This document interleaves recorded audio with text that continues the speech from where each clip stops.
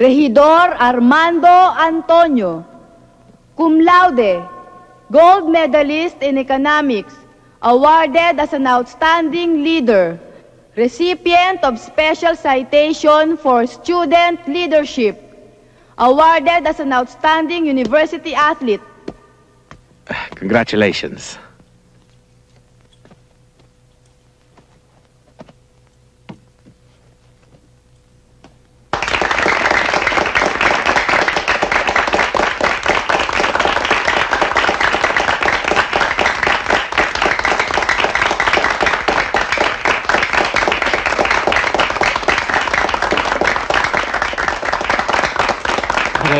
Thank you. Congratulations. Congratulations. Thank you.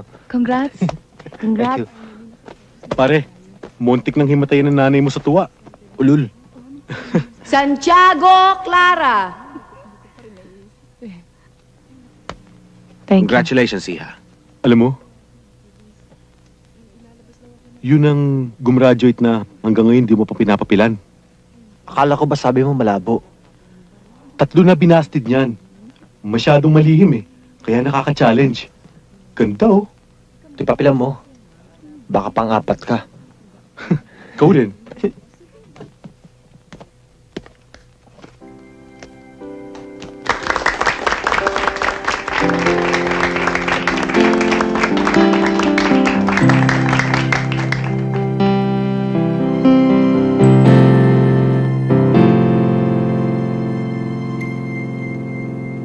Baka naman maengganyo ka pa sa mga barkada mo, iho. Oh, sige. Ha? Sige, see you later. O, sige. Okay. Thank you, Dad. Okay. O, sige. Bye.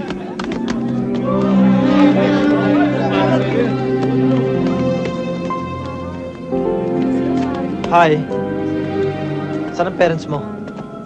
Wala ka bang kasama for this great event? Saan ang celebration? Walang celebration. Babawi lang ako ng tulog. Would you like to join me in my family? No thanks. Oh, total kami lang ng parents ko. Family gathering yun. Mga out of place lang ako. Thanks anyway.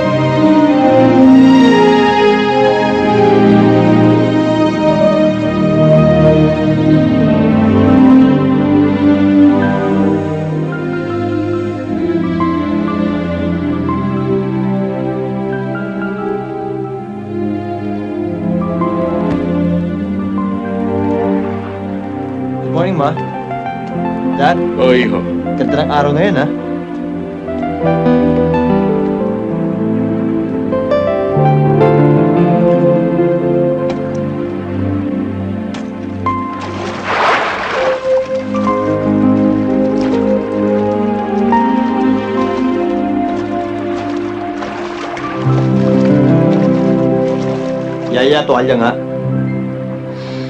Mm. Ah.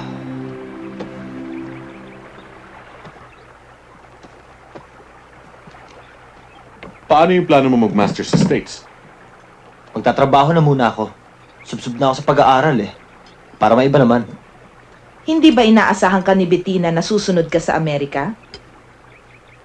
At least, yun ang sinabi ni Carmen, na pagkatapos mo daw mag-graduate, ay susunod ka sa San Francisco at doon kayo magpapakasal. Eh, tentative pa naman yun eh. Pwede pang mabago ang mga plano. Alam ba ni Bettina ang desisyon mong magtrabaho?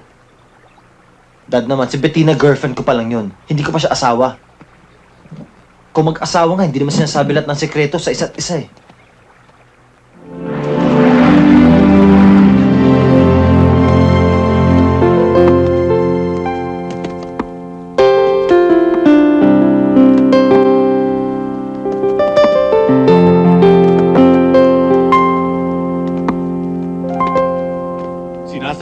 Sinasabi ko na nga be, masyado ka kasing impulsive pare. Ang init ng dugo mo. Tingnan mo, ilang buwan pa lang kayo ni Bettina. Ayaw mo na, kinabangan ka na. Sinabi ko nang ayoko na kay Bettina. Eh bakit ayaw mo siyang pakasalan? Pare naman, kung lahat ng babae sa buhay ko na minahal ko, eh pinakasalan ko. Eh baka nakakulong na ako ngayon. Pare, bakit ayaw mo ba ituloy yung original plan mo? Parang forced to good ka lang dahil pakakasalan mo na yung babae. Pare, nasabi ko lang sa'yo dahil depressed ako. Dahil paalis si Bettina. Natauhan lamang ako after six months. Kaya umaatras ka na. Arman, aminin mo na. Kinakati ka lang.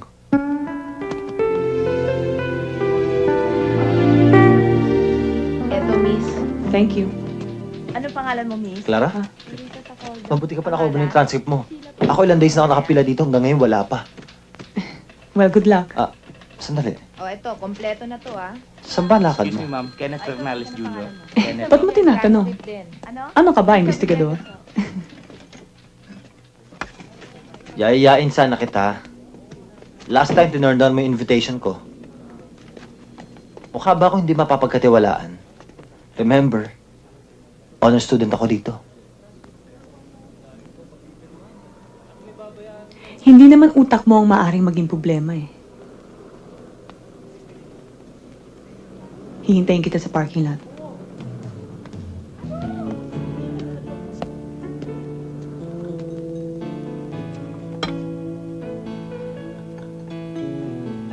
Nakikita na nga kita sa campus dati. Alam ko na ang pangalan mo ay Clara. But nobody knows you aside from your name. At paano tayo magkakilala? Eh wala nagpapakilala sa atin. Eh, ba't ngayon ang tapang mong lumapit sa hindi mo kakilala at mag-imbita? Paano naisip ko, hindi na tayo magkikita. Tipong ito na yung last chance ko. O di ayan, magkakilala na tayo. So, let's begin. Magkwento ka. Ano naman ang ikikwento ko? Mm, tell me something about yourself. There's nothing to tell. Pwede ba naman yun? Siyempre, bawat tao merong kanya-kanyang life story. True. Pero niniwala rin ako na ang lahat ng tao ay merong choice kung ikikwento nila ito o hindi. Masyado ka palang masikreto. Meron ka ba nililihim? Sino ba namang taong walang inilihim?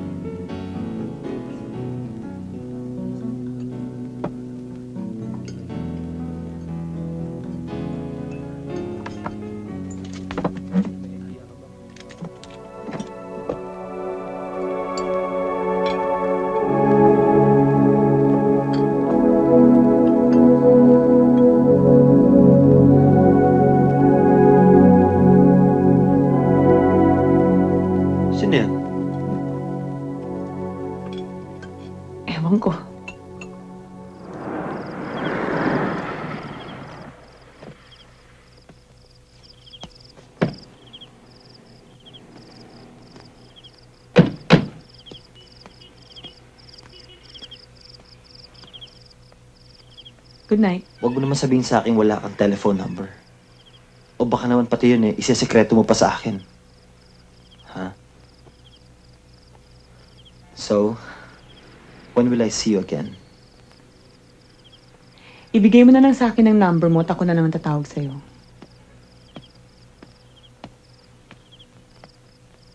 O baka naman tutol ka pa sa mga babaeng tumatawag sa lalaki.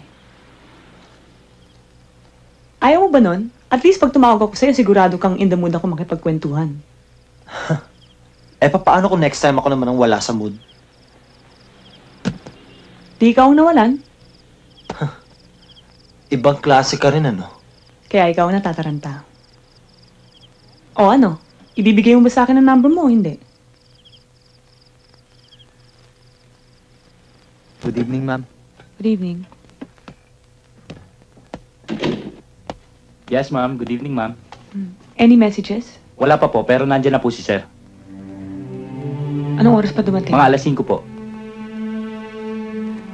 Thank you.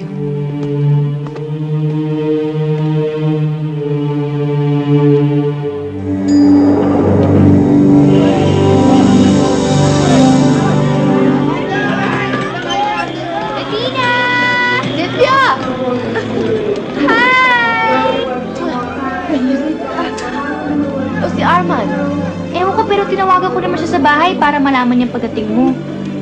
Hindi na bali, pa-page na lang natin yung O driver. sige.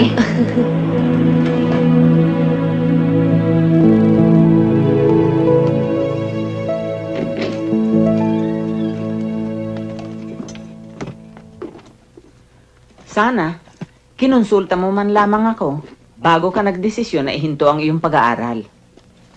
Mami, right from the start, kayo lang naman ang nagpupumilit na mag-aral ako sa Amerika eh. So for the sake of everybody concerned, I tried it. But I decided that it's not for me. So I'm home. Baka naman dahil lamang kay Arman yan. Kung tapos na siya sa pag-aaral, pwede na kayong magpakasal. Bettina, pupunta rin lamang sa Amerika si Mami, Arman. hindi naman ganun kababaw ang thinking ko. Oo nga't may plano kaming magpakasal ni Arman. But not to a point na isa-sacrifice ko ang studies ko para lang maging misis niya. Then, what's the real reason? Ikaw! Akala mo ba hindi ko nababalitaan kay Cynthia ang mga pinagagagawa ng tatay niya sa'yo?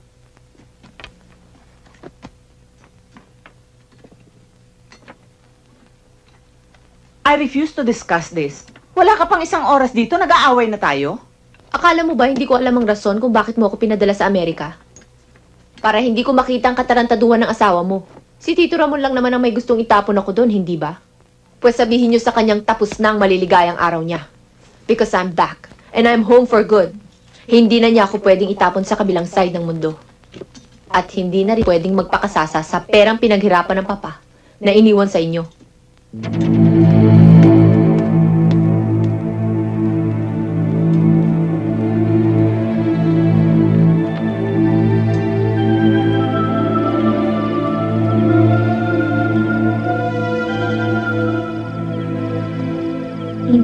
Tinatawagan si Arman? Bakit ko naman siya tatawagan? Alam naman niyang nandito ako, ba't hindi niya ako tawagan? Nag-aaway ba kayo? Aawayin ko pa lang siya. Oh, ba't wala pa daddy mo? Umuwi pa ba yon? Oo naman. I think. I'm sorry. Siguro sometimes nasasaktan ka kapag lagi kong iniinsulto si Tito Ramon. I sometimes forget he's your dad.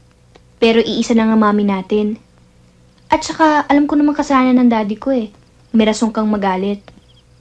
Alam mo bang pangalan ng babae niya? Who knows? Marami ba sila o may isang nakakalamang? Hindi nga namin alam eh. At saka may magagawa pa ba kami? Kaya nga ako nandito eh. Dahil may gagawin ako. At magkamatayan na kami ng daddy mo.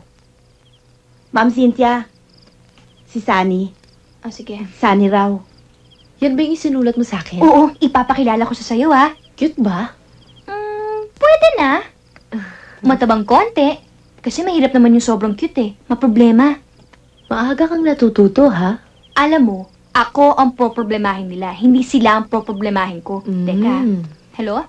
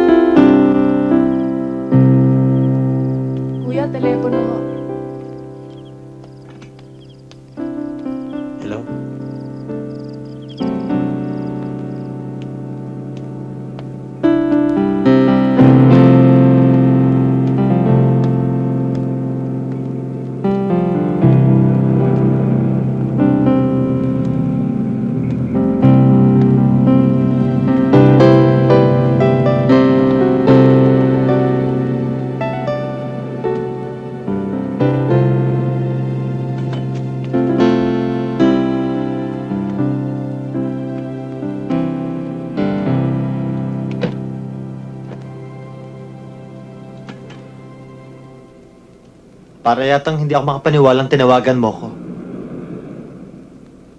Ano naman ang nakakapagtaka doon? Sinabi ko naman sa'yo tatawag ako, hindi ba? Hindi kaya pinapaikot mo lang ang ulo ko. Napakadali mo namang mataranta. Masama yan para sa lalaki. O paano? Dito na lamang ba tayo or would you like to go somewhere else? Maraming pang gasolina ng kotse mo. Of course. Bakit? Halika. Pupunta tayo sa pinakamagandang sulok ng Maynila. San yon?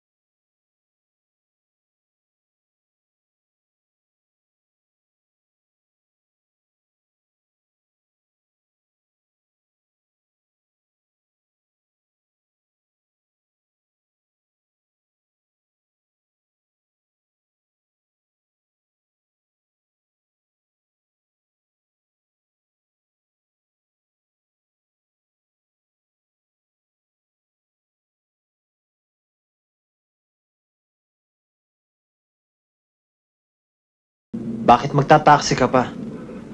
Ayan ka na naman sa mga questions mo. Sige, okay lang ako dito. Good night. Thank you. Clara! Tatawagan na lang kita. Clara!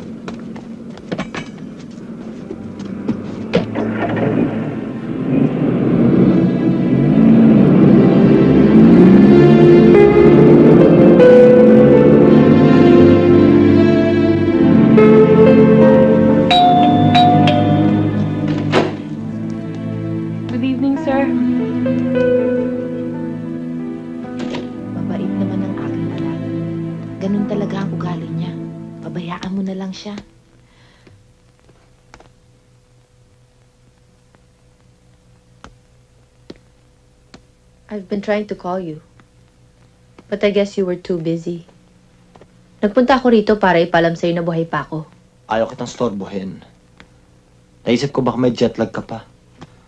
Mm. Sabi ko nga baka gusto mo pa magpahinga. Napaka-thoughtful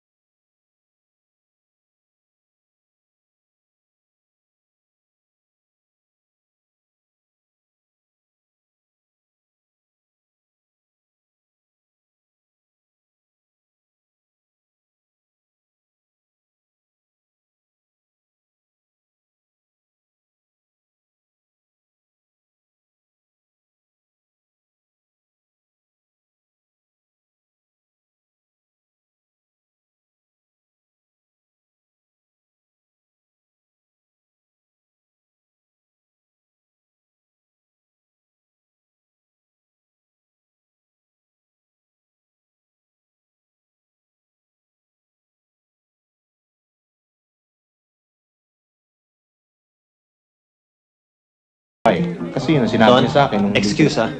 Yeah. Sandali lang ah. Ah. Pare, kanina ko pa napapansin na para bang kanina ka pa naghahanap ng kaaway. What's wrong? Pare, I hate parties like this. Oo. Daldalan lang ng daldalan mga tao. Wala namang kwenta mga pinag-uusapan nila. Arman, you don't need intelligence to be attractive at parties like this. It's just a game. Play along. Enjoy it. Eh. Malambing, malambing naman talaga yun eh. O sige, yeah. That's a good idea. Ililibre ko kayo. buwan. Yeah, oo. Ah, Excuse ano? me. Okay. Tutuloy ba tayo? Mm, yeah. Let me finish my drink. Namumula ka na. Umuwi na tayo. Are you out of your mind? Masakit na ang ulo ko. Pwede ba? Eh, paano umiinom ka? Hindi ka naman sanay. Kaya nga umalis na tayo bago ako magkalat sa putang inang lugar na to eh. Kung gusto mong umalis, umalis kang mag-isa mo.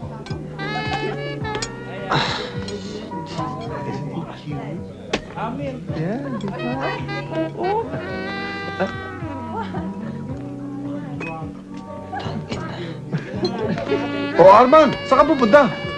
Tawi-tawi.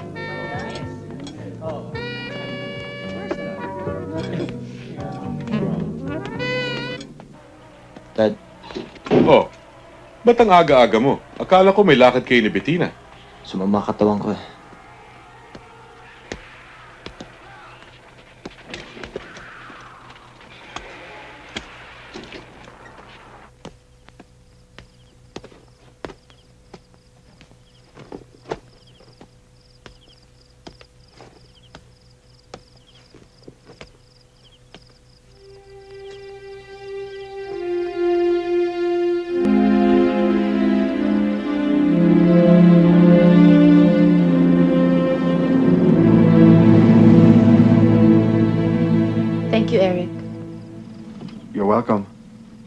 Pasensya ka na pala dun sa kaibigan natin, ha? Inatake na naman ng mga moods niya. Tapatin mo nga ako. Meron bang ibang babae si Arman? Hmm, not that I know of. How stupid of me to even ask. Kayo nga palang mga lalaki ay may unspoken agreement. Come on. Listen, it's nice to have you back. Welcome home. Thank you. Good night. Goodbye.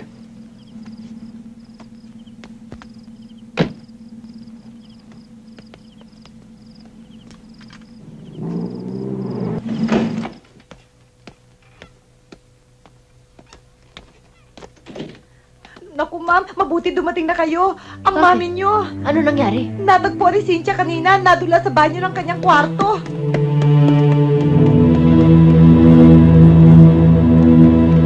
Ospital? Kalokohan. You will not argue with me. Magpapatingin ka sa doktor. Nahilo lang ako. Ewan ko kung bakit nataranta na kayong lahat. Eh, mami, nagkulapso kayo sa bathroom. Wala akong sakit. Ano naman yan?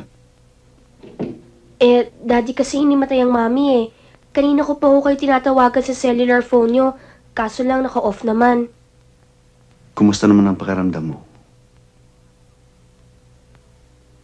Mahaba pang buhay ko. Matagal ko pang mapapakinabangan yung ataol na binili mo para sa akin. Yan ang gusto ko sa'yo eh. Kahit na may sakit ka na, hindi pa rin nawawala ang sense of humor mo. Mag-iingat ka, Carmen. Hindi ka na bata. Bakit, Tito Ramon? Kailan nyo ba iningatan ng mami?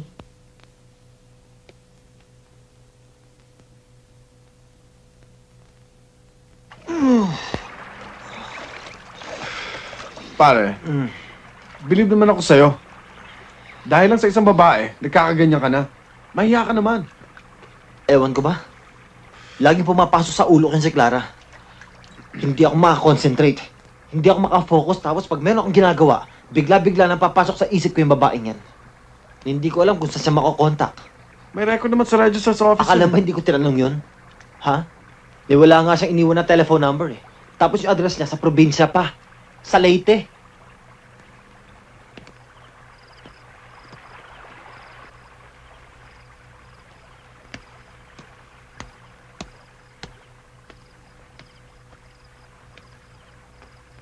Arman, I don't usually do this, but circumstances demand that I see you.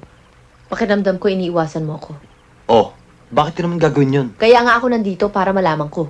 Parang naglolokohan lang tayo eh. Bettina, Look, I've been here for almost a week. We've seen each other twice.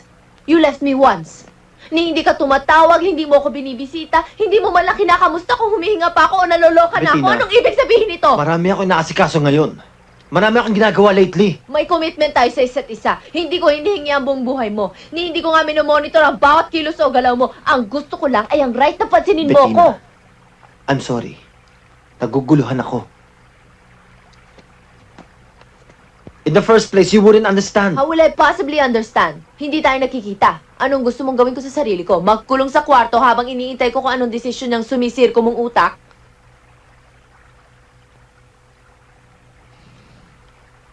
Kung ayaw mo na sa akin, sabihin mo lang. Bettina, pwede ba wag na muna nating pag-usapan to? Hindi ako mapag-isip. Gusto kong pag-usapan natin ito ngayon, Tin. May karapatan ako sa relasyon na ito. Arman, mahal kita. Nagpakatino ako sa Amerika dahil sa'yo. Nangako kang magpapakasal tayo pagka-graduate mo. I accepted your offer.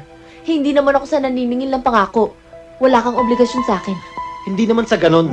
Kaya lang kung papasukin natin ang pag-aasawa, hindi ba mas maganda kung buo sa loob natin? At kung kumbinsido ako mag... Kumbinsido kang gusto mo ako mapangasawa? Meron ka na bang ibang nakilala? Mahal mo bang babaeng yun? Hindi ko pa alam. Bettina, let's give each other time to think things over. Good enough. Kapag nakapag-desisyon ka na, tawagan mo ko. You still know my number, I suppose. Pero hindi ko magagarantiya sa'yo na kapag nakapag-desisyon ka na, ay nandyan pa rin ako. Wala akong plano maghintay sa'yo. Good night.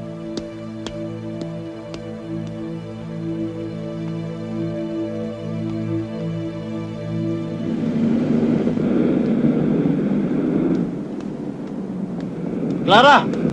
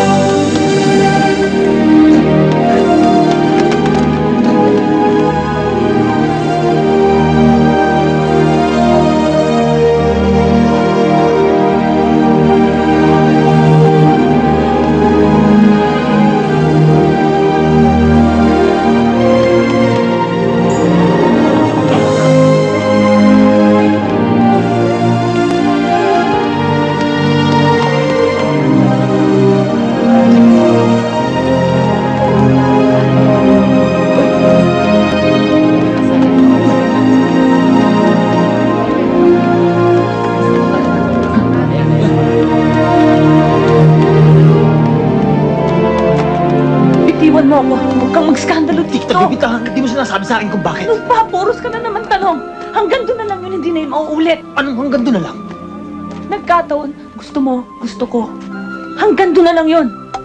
And you think it's one big mistake, ha? Isang aksidente, ganun ba? Oo, aksidente lang yun. Let me go! So, paano tayong dalawa? Anong tayong dalawa? Walang tayong dalawa. Arman, ayokong kailanganin ka. Magkakasakitan lang tayo eh. Hanggat maaga, iwasan na natin. Masaya tayo nun, yun na lang ang isipin mo. Pero kung ipagpapatuloy pa natin to, maraming masasaktan at unang-una na tayong dalawa. How can you say that kung ayaw mo akong bigyan ng chance? Umuwi ka na, Arman. Clara, mahal kita. Mahal mo ako. Ni hindi mo ako nakikilala.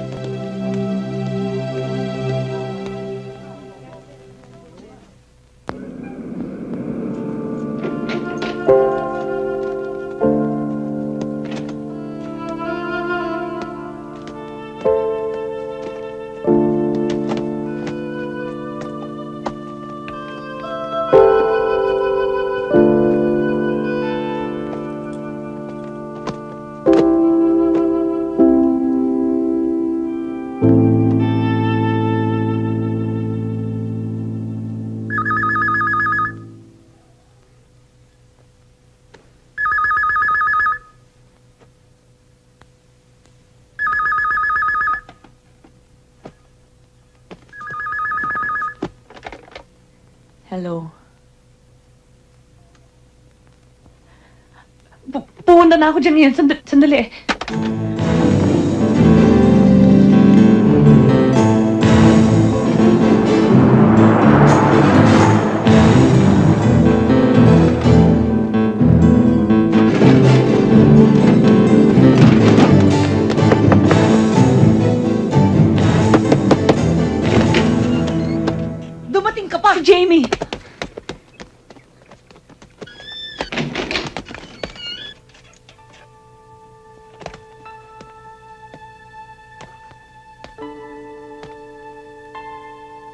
Okay na siya ate. Pero kanina lang hindi siya makahinga. Hinahanap ka eh.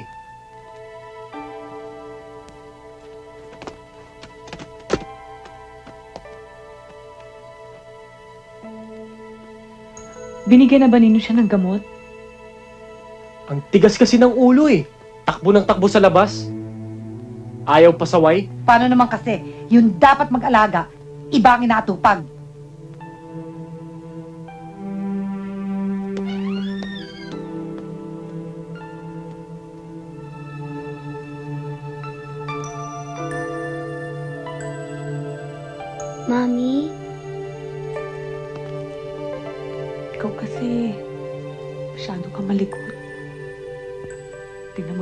Nangyari sa'yo.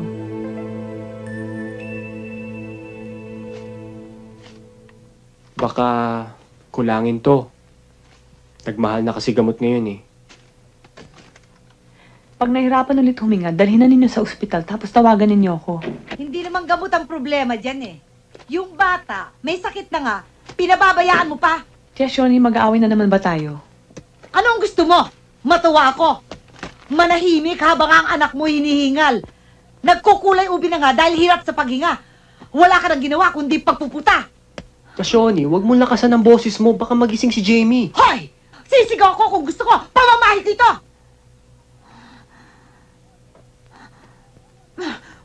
Walang yung buhay to. Oh, tumanda ka na at lahat. Eto ka pa rin. Wala ka pa rin ginawa kundi mag-intindi. Wag mo nang pansinin yun ate. Mainit lang ulo. Ninervyos kanina. Tawagan mo na lang ako, mami, para malaman ko kung anong nangyari. Susubukan kong bumalik bukas. Kung meron pang bukas sa tindahan, mahirap maghanap ng red phone. Sige.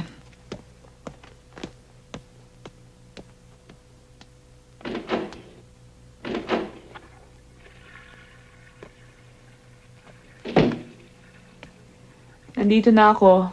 Saan ka galing? Sa Kamuning, pinatawag ako ng kapatid ko. Na paano anak mo? Okay naman. Hindi lang makahinga na taranta lang ang tiya ko. Halika nga muna dito.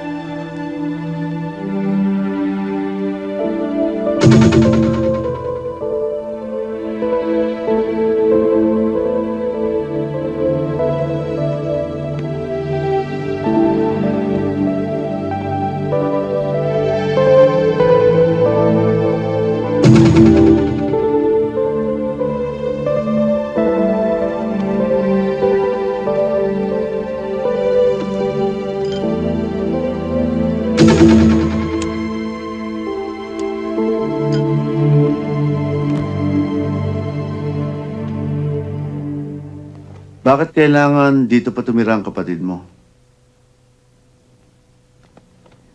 Para merong mag-aalaga sa bata. Ramon, Pinapag-aral ko ng kapatid mo. Lahat ng gastos sa gamot ng iyong anak, ako nagbibigay. Sinusustento ko lahat ng mga kamag-anak mo. Tapos ngayon eh, gusto mo dito pa sila tumira. Hindi ba nasa pangalan ko ng condominium na to? Aalis na ako. Ramon, paano na?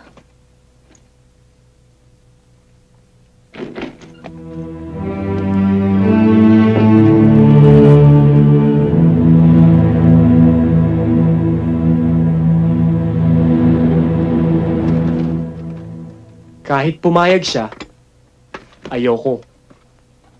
Ayaw mo bang magkasama-sama tayong tatlo? Nahihirapan ka rin naman kay Tia Shoni eh. Mas mahihirapan naman ako kung pipilitin mo akong makisama sa lalaking yun. At ayoko rin nandun si Jamie. Mahirap na. Kahit ano pa sabihin mo, hindi pa rin niya anak pamangkin ko. Mahilig sa bata si Ramon. Kung sarili nga niyang anak, hindi niya iniintindi. Yung pa kaya anak ng iba? Sandaling panahon na lang, Romel. Pag nakaipon na ako ng pera... Yan din na sinabi mo sa akin two years ago eh. Pero hanggang ngayon, nakadikit ka pa rin sa kanya. Magkano ba plano mo ipunin? Hanggat kailangan ko ipagamot ang aking anak, titiisin ko ang lahat. Hindi ko naman ginagawa ito para sa aking sarili eh. Akala mo ba natutuwa ako sa kalagayan kong to? Kung gugustuhin mo, edi iwanan mo. Alam mo ate, minsan naiisip ko ginagawa mo lang dahilan ng sakit sa puso ng bata eh. Dahil nakasanayan mo na kasamang lalaking yun. Mami! O anak, bakit ka bumangon? Baka kumapano ka. Mami, dito ka ba matutulog? Hindi pwede anak eh, kasi ang dami kong aasikasuhin. Pero babalik ako pag libre na ako.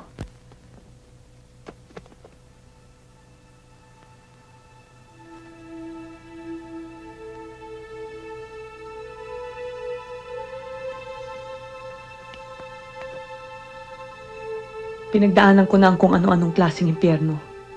At kaya ko pang daanan ng kahit na anong pagsubok ng demonyo. Basta mabubuhay ng matiwasay ang aking anak. Hindi niya mararanasan ang paghihirap na linunok ko sa buhay na ito. Sinusumpa ko yan, Romel. Bahala ka ate. Wala akong magagawa, Bettina. Binigyan ng mami mo si Ramon ng authorization para magpalakad ng mga kumpanya at gamitin lahat ng mga ari-arian na pinundar ng ama mo. Sinusunod ko lang ang kanyang kagustuhan. Kailangan tayong makahanap ng pruweba para mapatunayan na nilulustay ng lalaki niya ng pera ng papa ko. Yung sapat na ebidensya para maikulong ang lalaki niyan. Bettina, hindi ganyan kasimple. I never thought it would be that easy. But you can do it for me, can't you? Pinagkatiwalaan ka ng papa ko. Hindi lang bilang isang abogado, kung hindi bilang isang kaibigan. If you can't do it for me, at least do it for my father.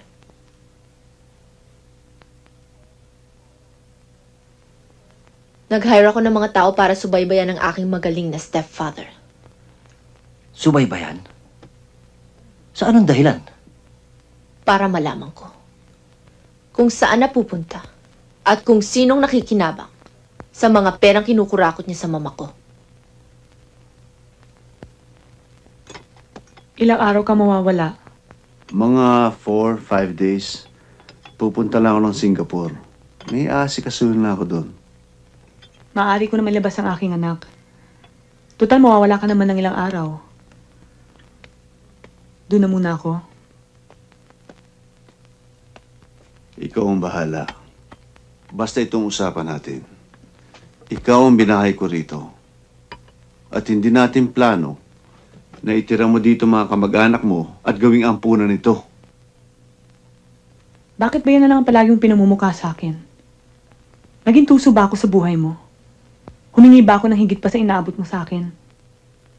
Hindi naman. Ang lagay eh, sobra-sobra nang napapakinabangan mo sa pagsasamang ito. Bakit ka pa hihirit? Nangako kang aayusin mo papeles ng unit. Sabi mo sa akin nililipat mo sa pangalan kong condominium na to. Pero tuwing tinatanong kita, palagi mong iniwasan ng subject. Naniniguro ka na ba? Na kung sakali magkahiwalay tayo, eh busog na busog ang tiyan mo. O baka naman naiisip mong magbagong buhay. Nagsasakripisyo rin ako para manatili dito. Siguro. Pero baka nakakalimutan mo. Ako pa rin ang gumagastos sa pagpapagamot sa anak mo. Sulit na sulit na nga ang serbisyong binibigay mo sa akin.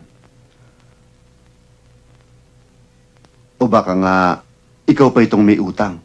Tao rin ako. Na nakakaramdam. Sinasabi mong bang mahal mo ako? Clara naman. Just a word of warning. Oras na umabuso ka o ginawa mo akong tanga, pupulutin mo ang iyong sarili kung saan kita dinampot.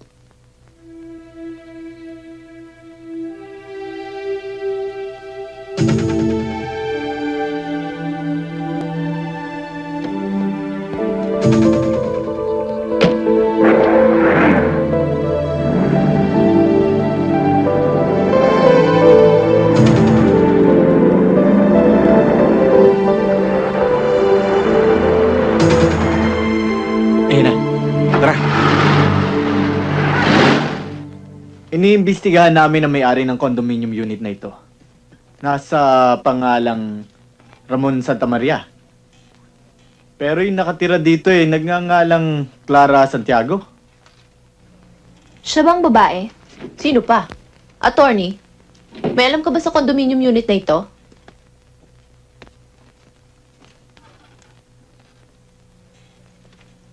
Hmm. He purchased that condominium three years ago. At sa pagkakaalam ko eh, pinarerentahan niya yan.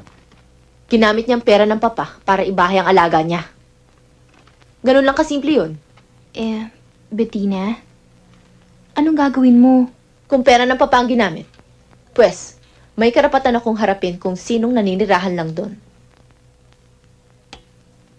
Attorney, ginawa mo na ba yung nire-request ko sa'yo? Bettina, pag nalaman ni Ramon yan, Huwag kang matakot. Akong mananagot.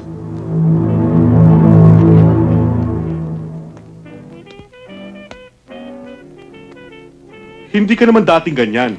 Maghapon ka nakakulong dito sa kwartong ito. E amoy kabaong na ito. Ano ba nangyayari sa'yo? Wala, Dad. Anong wala? Bumangon ka dyan. Kung ayaw mong mag-masters, maghanap ka ng trabaho. Ganyan ang gusto mo, di ba? Hindi ko alam ang gagawin ko, Dad. Pwes magpakalalaki ka. Huwag kang magmukmuk dyan dahil walang magagawa yan pagkahabag mo sa iyong sarili.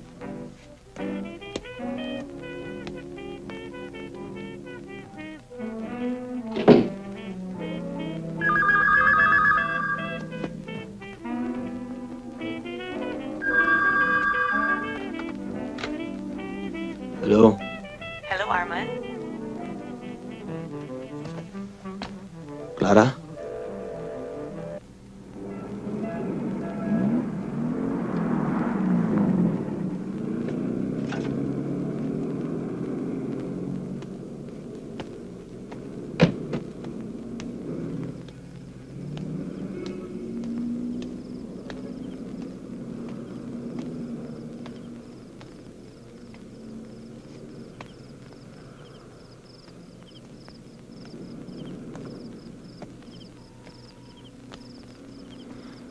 Wala kang karapatang gawin sa akin to. Pinaglalaruan mo ko. Arman, hindi mo naiintindihan. Mawawala ka, ipagtatabuyan mo ko. Pagkatapos sa tawagan mo ko dahil gusto mo ko makita. Ano bang akala mo sa akin? Para kung aso na pag sinipulan mo, lalapit sa'yo. Pinili mo rin naman, pinili mo rin namang magkasama ako eh. Kung ayaw mo, di sana doon ka na lang sa bahay mo. Ano ba gusto mo sa akin? Bakit mo ba ako ginaganito?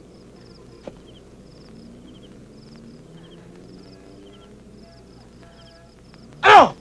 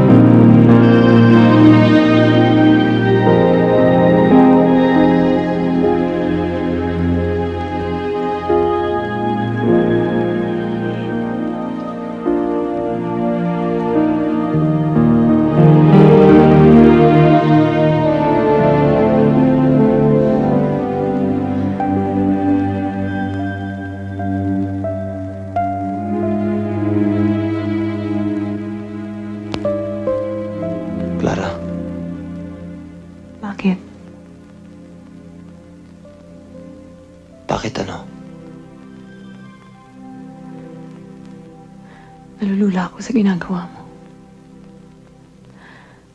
Huwag mo akong sasambahin. Iba ang uri ko. Iba ang aking pinanggalingan.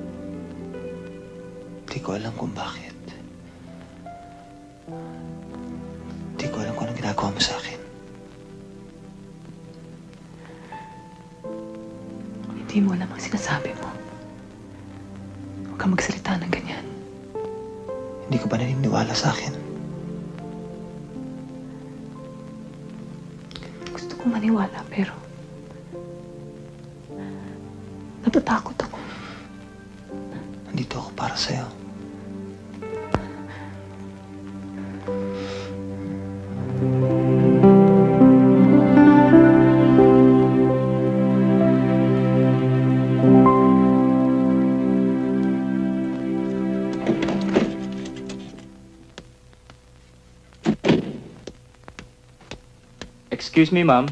May naghihintay po sa inyo. Saan? Sila ho. Hi. My name is Bettina Arboleda. Yung anak ni Carmen. Asawa ni Ramon Santa Maria. Do I need further introduction? Ah, paakitin mo ba ako sa bahay mo o gusto mong dito tayo sa harap ng tao mag-usap? If it's okay with you, it's all right with me.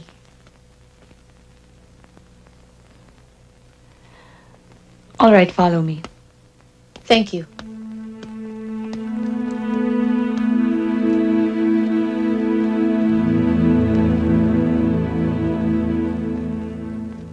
Hmm, nice. Okay ah. I can just imagine kung magkano nagastos ng aking darling stepfather sa pagpapagawa nito.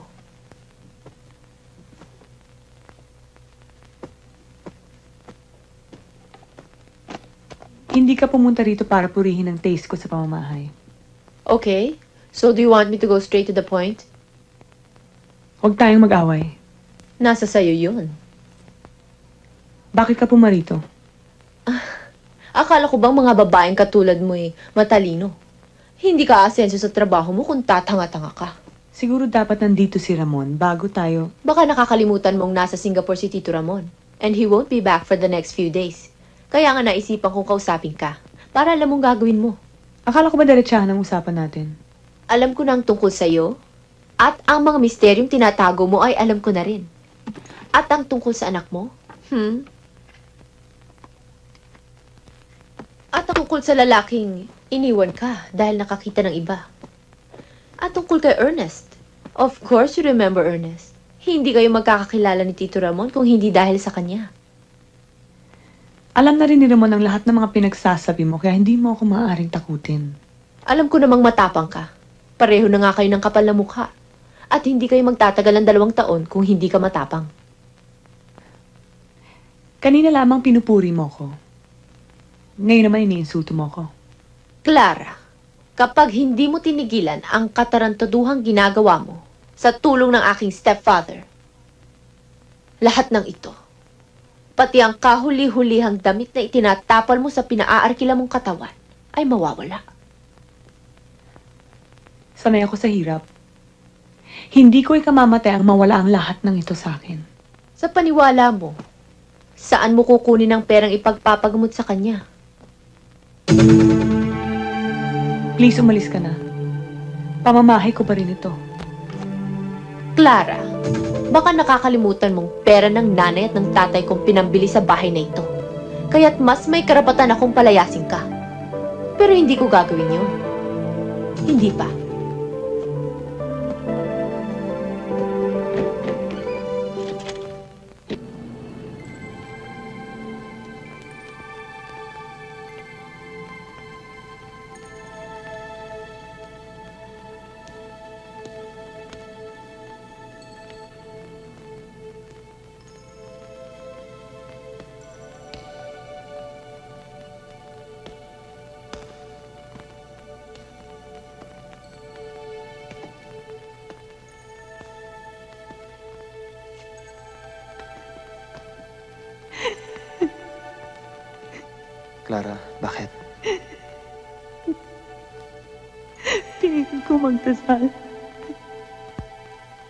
Nahihiya na ako sa Diyos.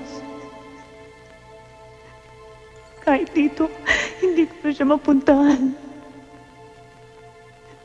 Anong nangyari? Arman, ilayo mo na ako. Ayoko na rito. Ilayo mo na ako. Hindi na ako makapag-isip.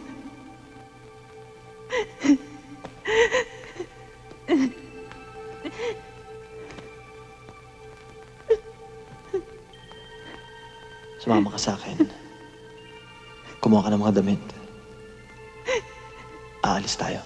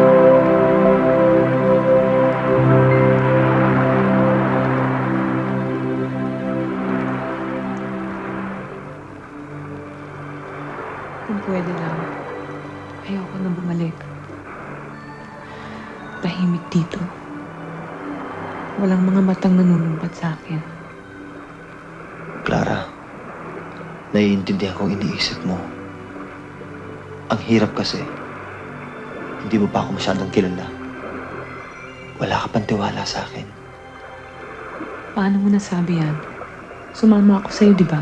Tiwala ba ang tawag mo doon? Kung makikilala mo tunay kong pagkatao. Mamahalin mo pa ba ako?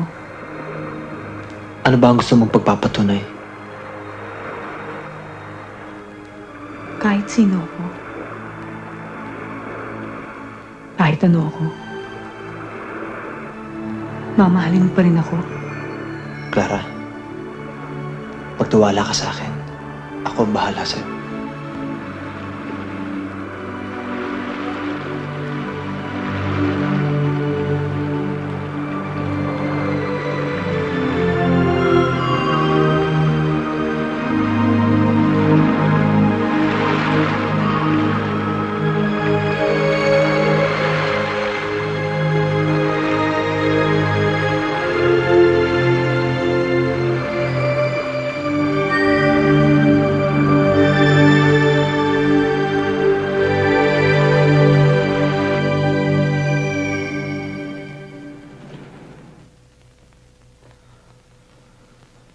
Kaninong bahay to? Nangako kang hindi ka muna magtatanong. Sandali ha, may kukunin lang ako.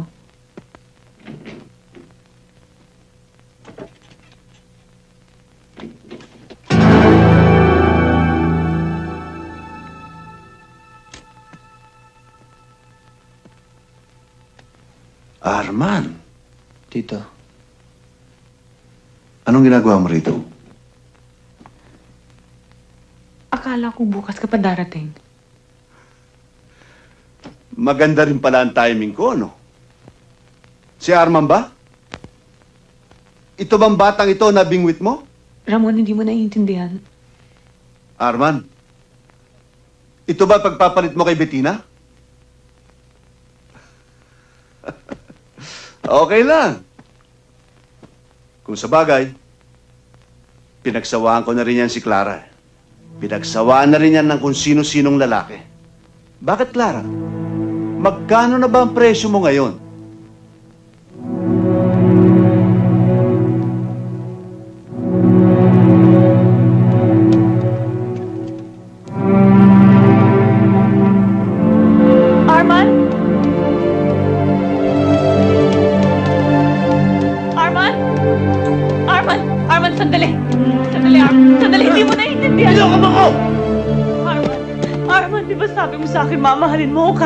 Kahit sino pa? Ilang lalaki na pinagsabihan mo na. Ilang beses mo lang ginamit yung gimmick mo yan. Alam mo ang sekreto ng pagkatao mo. Ha? Matatanggap kong lahat. Huwag lang yung putang ina! Isa kang puta! Puta! Arman, Arman. Putang ina ka! Arman, kahit minsan hindi ako nagmalinis sa'yo. Hindi mo rin sinabi sa akin na ganyan kakarumi! Halika! Ito ba? Ito ba ang pera gusto mo? Ito ba? Ito bang bayad sa lahat ng serbisyo mo? Ito ba ang pera kailangan mo?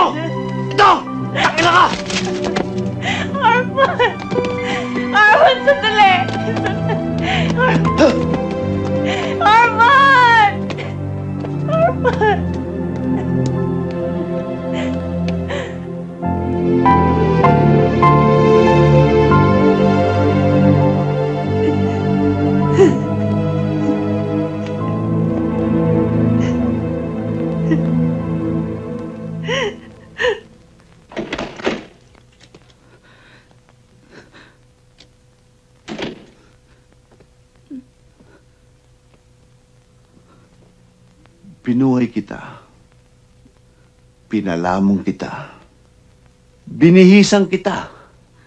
Pati pamilya mo nakinabang sa akin. Yung pala matalikod lang ako sandali. Nagsa-sideline ka na kagad. Pangilan mo na ba yan si Arman? Ha? Hindi ko ginusto ang nangyari. Anong hindi? Tingnan mo nga yung itsura mo. Kulang na lang, himuri mong talampakan ng lalaking yun. Alam mo, hindi ko malaman kung maaawa ko o masusuka ako sa'yo. Tao rin ako. Aaminin ko. Binili mo ko. Pati kaluluwa ko, inangkin mo na rin. Pero hindi yun sapat na dahilan para pigilan mo ang nararamdaman ko. Mabuti pa. Hakuti mo na lahat ng mga damit mong dinala dito sa bahay na ito. Walang lalabis, walang kukulang. Kung anong binitbit mo papasok dito, yun din ang hahakuti mong palabas. Huwag ka na magmakaawa. Mag-aaksya ka lang ng laway. Sige, lumayas ka na. At ayoko na makita pagmumukha mo. Bumabaliktad ang sikmura ko sa pagmumukha mo.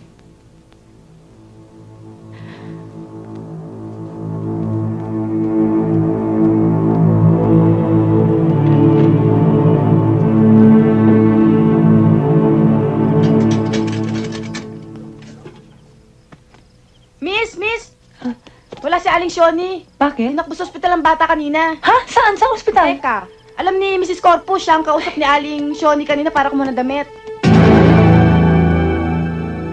Jamie? Saan ka na naman ang galing? Hayop na babae ka. Dalawang araw ka na namin hinahanap. Bakit? Anong nangyari sa anak ko? Tinatawagan kita ng isang gabi. Walang sumasagot. Nataranta na kami. Gustuhin man namin dalhin yung anak mo sa espesyalista sa puso. Hindi namin magawa dahil wala ka. Ate, kailangan kailangan natin dalhin si Jamie sa isang espesyalista.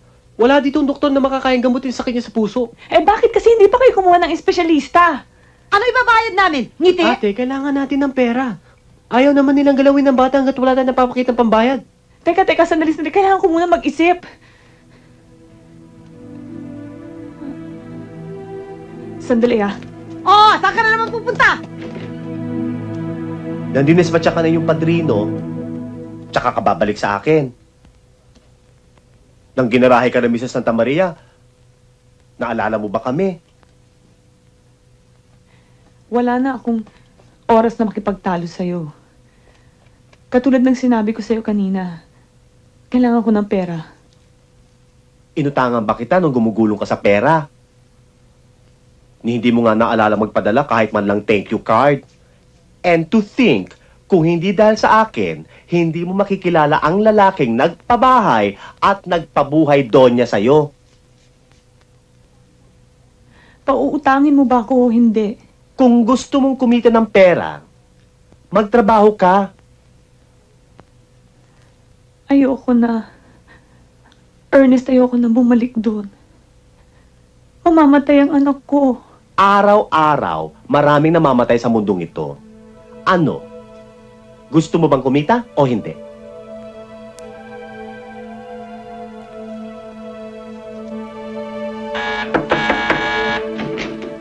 Uy, okay. Ikaw ba pinadala? Oh.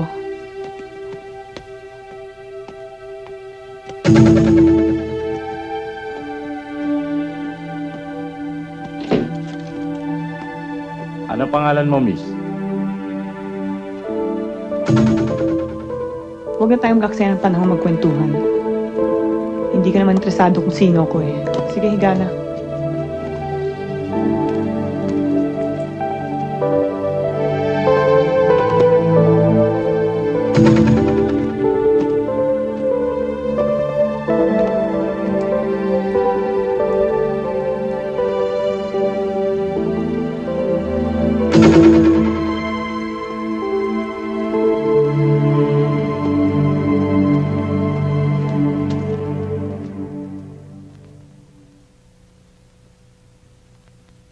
Pinag-isipan niyo mabuti ito, no? Carmen, kasama ka ba sa konspirasing ito? Huwag mong sisihin ng mami akong may pakana nito. Attorney, sabihin mo nga kay Tito Ramon kung ano ang nangyayari. Ramon, naririto ang lahat ng sapat na ebidensyang nagpapatunay na malaki ang sinira mo sa pera ng mga kumpanya ni Carmen. O tapos, Pag hindi mo sinunod ang gusto ko, ipakukulong kita. Akala niyo ba matatakot ako sa mga papeles na yan?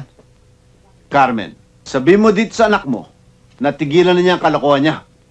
Ako mismo magdadala sa'yo sa kulungan pag hindi mo sinunod ang niuutos namin sa'yo. Ililipat namin ang mga karapatan mo sa kumpanya kay Bettina. Napakasama mong magbiro. Eh di tumawa ka kung gusto mo. Bibitiwan mo rin lahat ng mga karapatan mo sa mga propiedades ng mga arboledas. Bakit? Anong tingin niyo sa akin? Sweldohan? Ayaw naman naming magmukha kang kawawa. Baka sabihin ay ginugutom ka namin. Kaya naman bibigyan ka ng sapat na allowance ni Bettina at ni Carmen. Allowance? Ha? Bakit? Ano palagay niyo sa akin? Batang nag-aaral? Daddy, please pumayag ka na. Hindi nagbibiro si Bettina, ipakukulong ka niya. Huwag ka maniwala sa maginang yan. Akala mo siguro nagbibiro ako, no? Sige, subukan mo ako. Attorney ang mga papeles. Pirmahan mo to kung ayaw mo magbilang ng taon sa likod ng rehas. Oh! Pirmahan mo!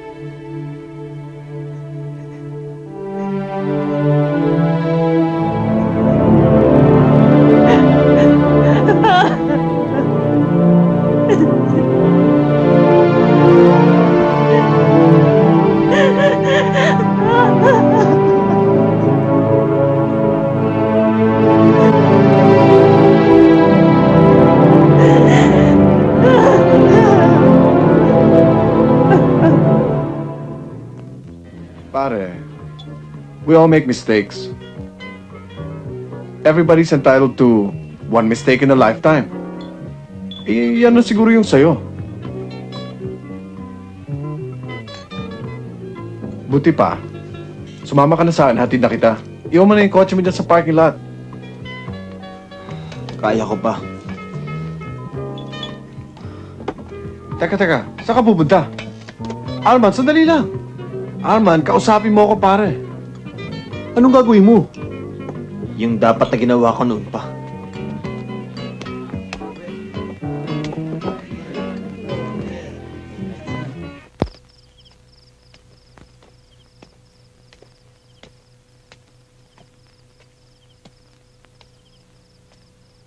Bakit, Arman? Anong kailangan mo? Bettina, pakasal na tayo.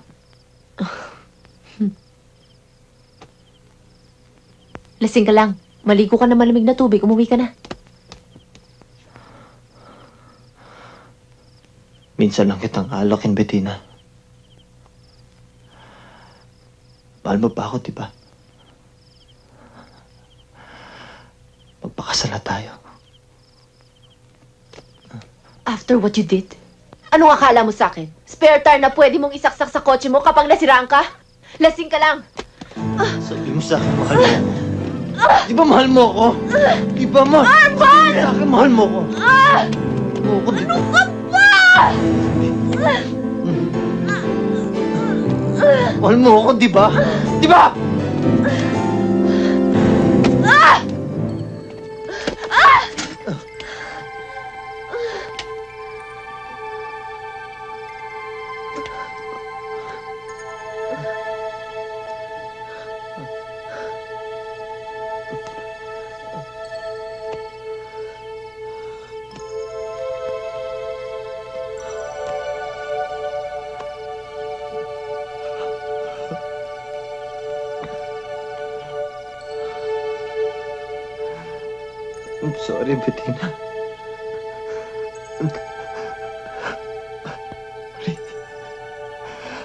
I'm sorry,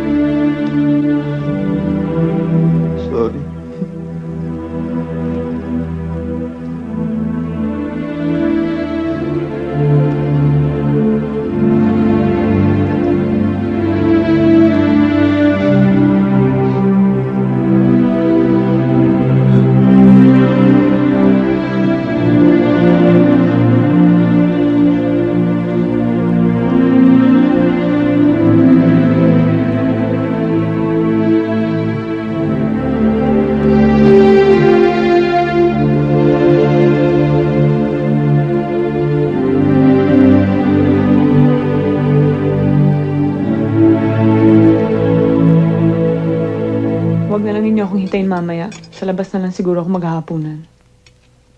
Saan ka ba kasi maghahanap ng trabaho? Ate, ito yung classified ads, oh.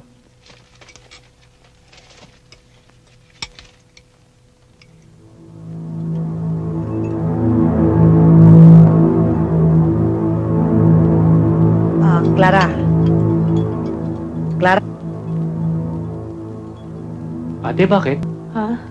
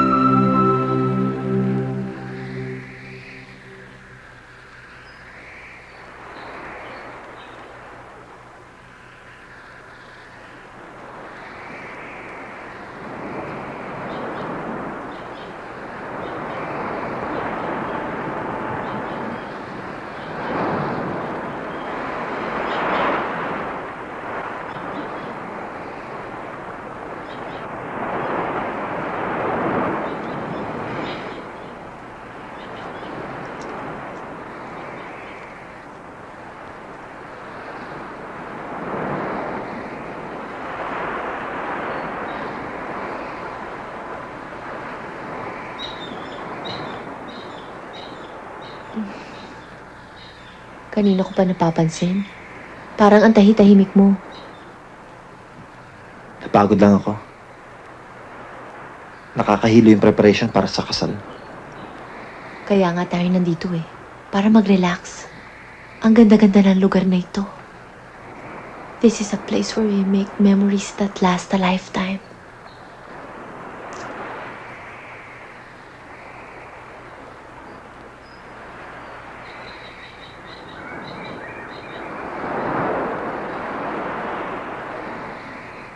O, dali buksan natin. Sige. Basta. Teka, sige, di ba dapat buksan. sirain Sige to? na.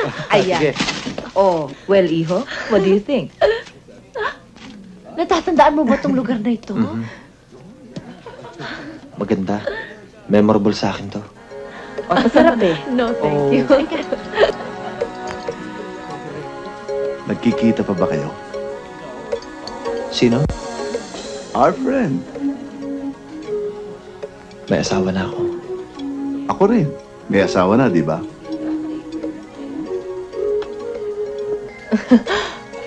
Napakaseryoso yata ng usapan ninyo ah. Kinakausap ko lang tong mister mo. Ngayon lang kasi kami nagkakakilala.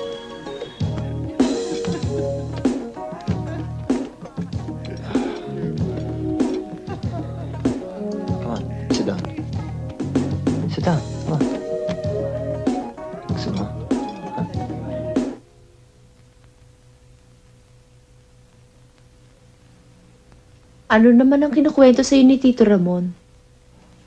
Wala. Ang mga bagong babae niya? Kung meron man, sa tingin mo kaya sabihin niya sa akin yun? Eh, ganyan naman talaga kayo mga lalaki eh.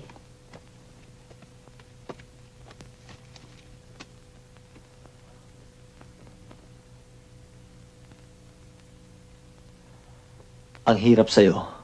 Wala kang tiwala sa mga lalaki. Masisisi mo ba ako?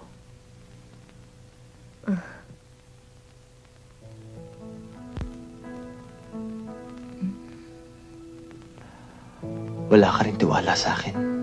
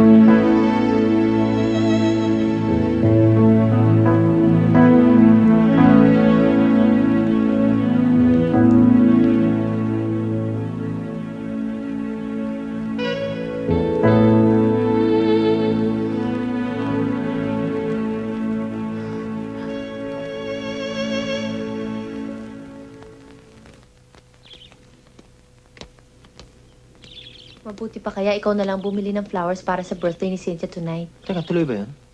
O, tinan mo, buti pinaalala ko sa'yo. Wala akong kaalam-alam dun eh. Eh, kung may oras nga lang ako, di ako na sanang gagawa. Kaya lang, I'm pressed for time, ikaw na lang. Anong pipiliin ko? Basta tanungin mo na sila, alam na nila yun. Ah, oh, sige.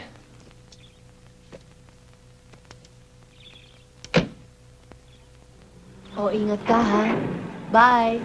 Bye. Love you.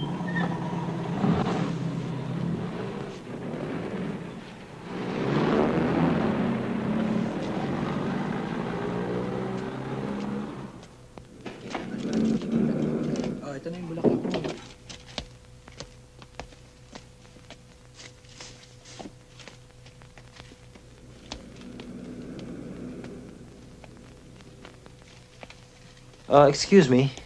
Do you have some flowers like some...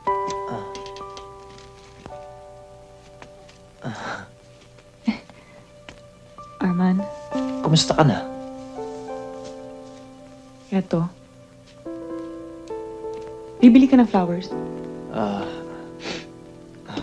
sana. Para sa misis mo. Hindi. ah, para sa kanyang kapatid. Birthday niya ngayon eh. Ako na utosang bumili ng flowers, but for delivery. Ah, kailangan ko ng flowers for the, the dining room and for the living room. Can you help me with that? Ako nang bahala. Sandali ay pahanda ko. Clara. Sana makapag-usap tayo What for? Kung ano man yung dapat nating pag-usapan, nasabi na natin sa isa't isa noon pa. Excuse me.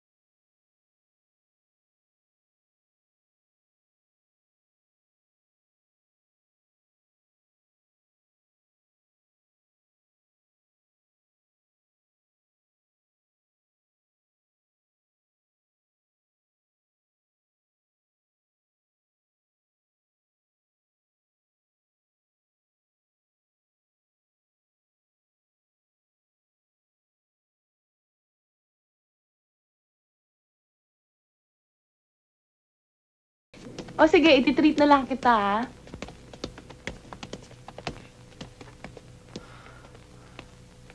Yayayain sana kitang kumain sa labas. Bago ka gumawa ng kahit na ano. Isipin mo muna mas maraming taong masasaktan kung di mo ginamit ang iyong ulo. Ang dami mong sinabi pero hindi mo pa sinasagot ang tanong ko. Mali, Clara. Marami pa tayong dapat pag-usapan.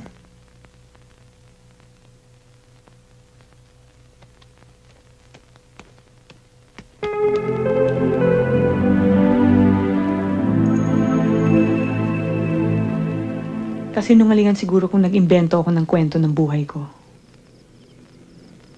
Pero kung aalalahanin mo, wala akong ibinigay sa iyong impormasyon na hindi totoo. Sa dinami-dami ng trabaho, bakit yan pa ang pinasok mo? Para sa taong hindi pa nakakadanas ng gutom. Hindi pa natataranta dahil ni 5 sentimos ay walang laman ang iyong bulsa. Hindi mo ako maintindihan kahit magdamag akong magpaliwanag. Nangyari na ang nangyari. Tapos na yun. Tapos na ang bahagi ng buhay kong yun. At kasama ka na rin dun. Yan din ang lagi kong inuulit-ulit sa sarili ko. Pero hindi pa pwede. Clara, hindi kita makalimutan. Iuwi mo na ako. Kahit kasipin ko ang aking asawa. Ikaw ang lagi kong iniisip. Wag. Arman, huwag ka na magsalita ng ganyan. Ayoko na ng mga pangako. Huwag mong isa-isain sa akin ang mga hinanakit mo dahil pag uwi ko, pag nag-iisa na lang ako, naaalala ko na naman lahat ng mga salita mo. Bakit? Ano ba ang dahilan kung bakit ayaw mo? Dahil ayaw na kitang ibigin. Ayoko nang manakit ng kapwa para lang mapaligaya ko ang aking sarili. Clara, kailangan magkita tayong muli. Ayoko na. Ayoko na, Arman. Hindi ko na pinapaarkila ang aking katawan. At hindi hindi ko na pinahiram ang aking puso. Ihatid mo na ako.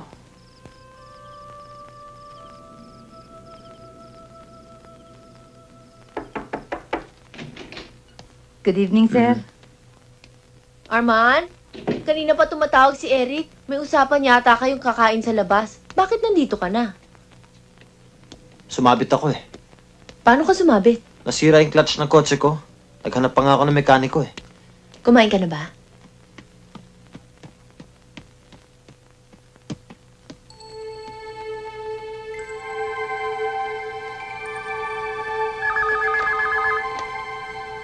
Hello? Hello, Clara. Si Arman to. Akala ko ba tinapos na natin ang usapang ito kagabi? Arman, pareho na tayo nananahimik ah. Clara, please. Alam mo ba kung ano kahirap para sa akin ang angatin ng teleponong ito? Huwag mo na ako antay magmakaawa pa sa'yo. Clara, please.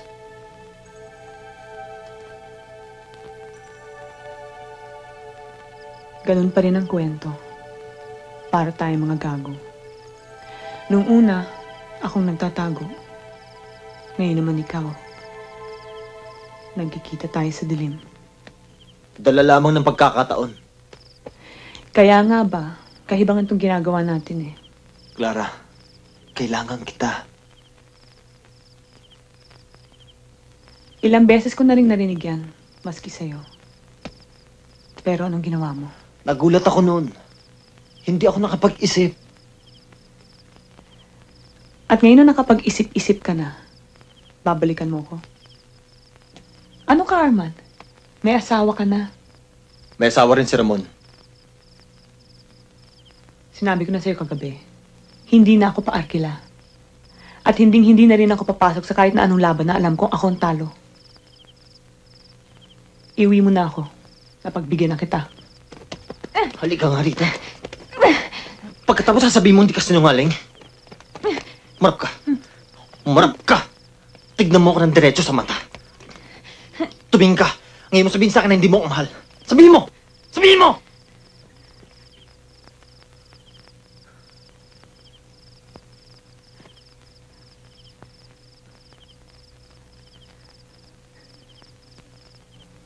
Bakit mo ba ako pinahihirapan ng ganito?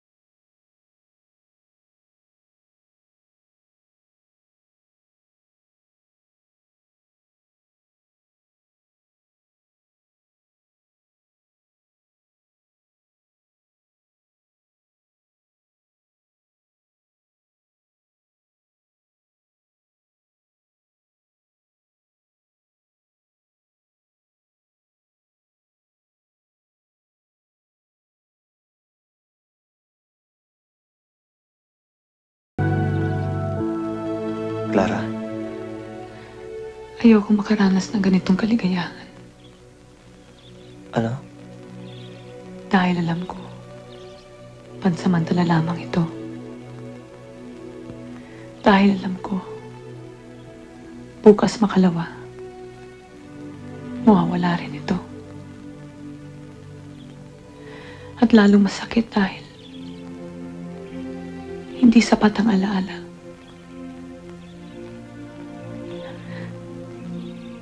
Bumalik sa akin?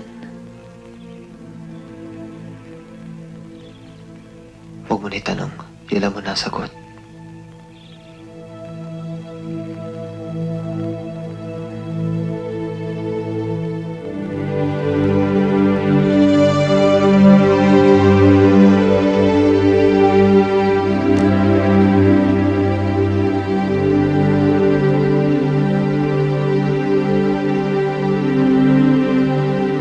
Clara, kandado mo nga yung pinto pagkalabas ng bisita mo.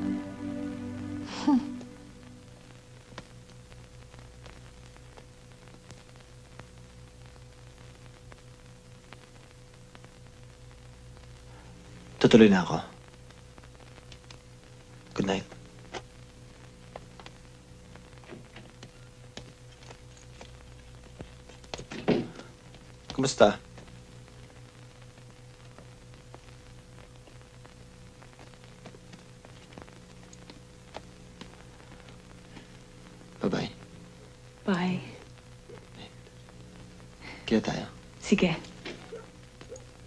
Take care. See you.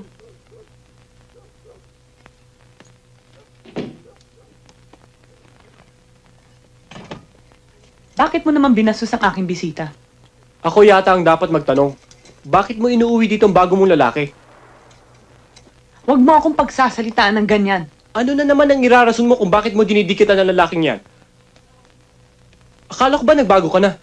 Siya na lamang ang kaisa-isang lalaki rumirespeto sa akin. Respeto ba yung gawin ka lang niyang kabit?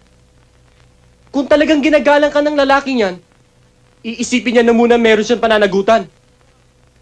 At oras na magkarelasyon siya sa'yo, pambabastos na rin yun. Wala akong ipaliliwanag sa'yo. Ano kahantungan ng pagsasama niyo? Aasa-asa ka? Naiiwanan ng lalaki niya ng asawa niya? Para gawin ka respetadong babae? Hindi ko iniisip yan. Nagpikit mata ako nung tungkol sa pagkatao mo. Pero ngayon, nandidiri ako sa ginagawa mo.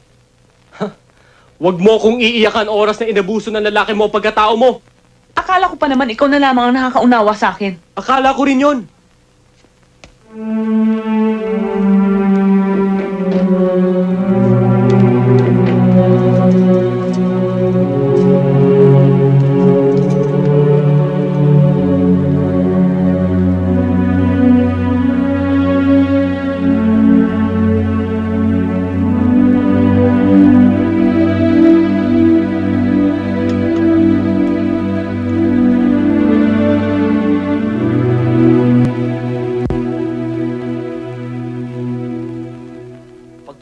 Mamaya, pakisabi mo nga sa kanya na hindi siguro makakasama sa pag-badminton. Bakit? May iba ka bang lakad? Oo. Napaka-importante naman ang lakad mo at nakakalimutan mo na si Eric. Eh, medyo. Arman, kung ano man yung ginagawa mo, siguraduhin mo lang na hindi mo pagsisisihan, okay?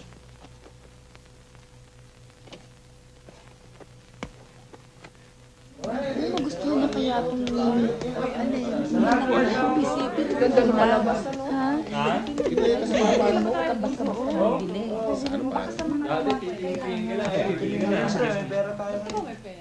Saan ba yung tindahan sinabi niya magkikita kayo?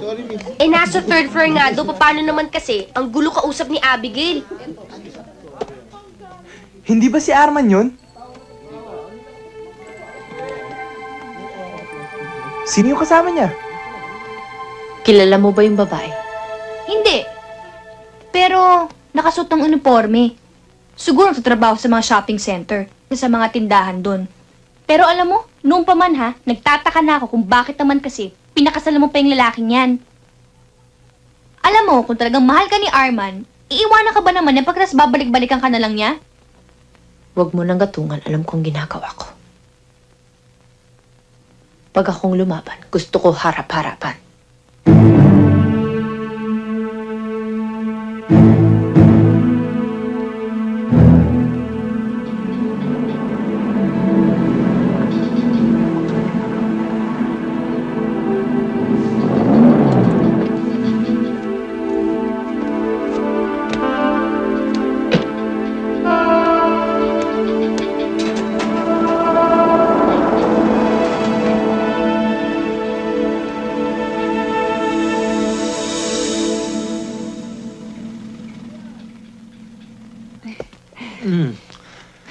Hindi na ako magtatagal. May lakad si Bettina. Walang tatao sa bahay. Magaling. Yan bang babaeng pinag-aaksayahan mo ng pagsisinungaling, Arman? Bettina, anong ginagawa mo dito? That's brilliant, Mr. Chongson. Akala mo ba'y nagpunta ako dito para makipagkaibigan sa kasosyo ko sa'yo? Let's go. Don't you dare touch me! Ikaw, ano ba talagang plano mo? Gusto mo ba tuhugin ang lahat ng lalaki sa pamilya ko? Sumpa ka ba sa buhay ko? Tama na! Talagang tama na. I thought you had a better judgment to find a woman who's better than me. Kung sa ganyang uri mo lang ako ng babae ipagpapalit, talagang tama na. Napakababaw ng pagkatao mo. Oh,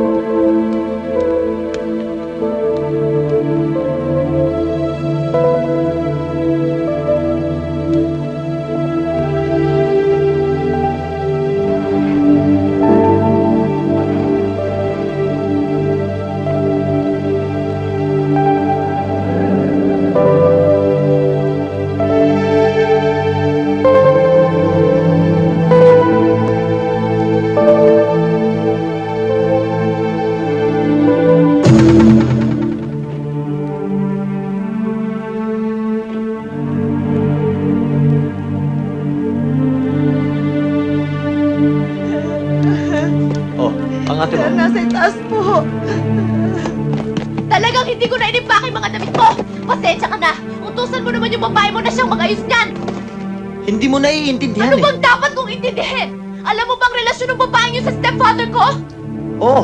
Siya ba yung babaeng kinababaliwan mo na lumayo ka sa akin? Pagkatapos binalikan mo pa rin siya? Anong klase kang lalaki? Bakit mo ko ginaganito? Ano bang nagawa ko sa'yo para tatuhin mo ako ng ganito? Tandaan mo, Arman. Ikaw ang makawa sa akin. Ikaw ang lumuhod para pakasalan kita. Pagkatapos ganito, ginamit mo ako dahil hindi ka makakuha ng isang puta! Hayop ka! Hayop ka! Ina! Ka sa akin ah. Hayop ka! Tama na! Makinig ka nga muna sa akin, please. Sinungaling ka! Ina, mahal kita. Kaya Hindi lang... ako papayag makipagkumpidensya sa isang babae bayaran! Hindi ako papayag na hatiin mo pagkalalaki mo sa aming dalawa! Bettina, hindi ko sinasadya saktan ka. Inaamin ko, ako may problema. Akala mo ba gusto ko itong nangyayari? Akala mo ba hindi ako nasasaktan pag nagsisinungaling ako sa'yo? Pare-pareho kayong mga lalaki!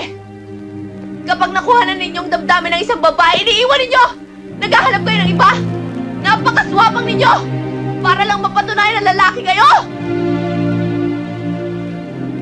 Bet Bettina, bigyan mo lang ako ng konting panahon. Malaman mo na kahit mawala ka sa buhay ko, hindi ko ikaw mamatay. Lalaki ka lang!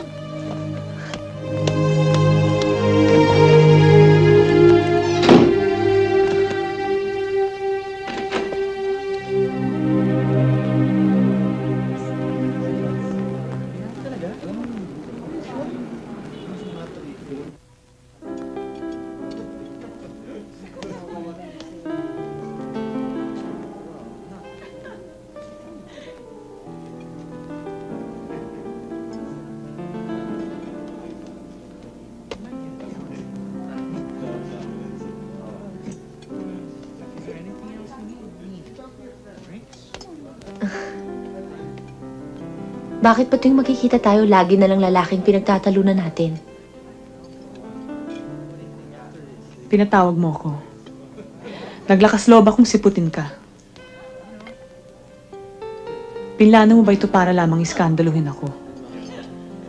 Hindi. Pero sa totoo lang, pwede kitang ipakulong kung gugustuhin ko. Napakababaw ko naman kung gagawin ko yun.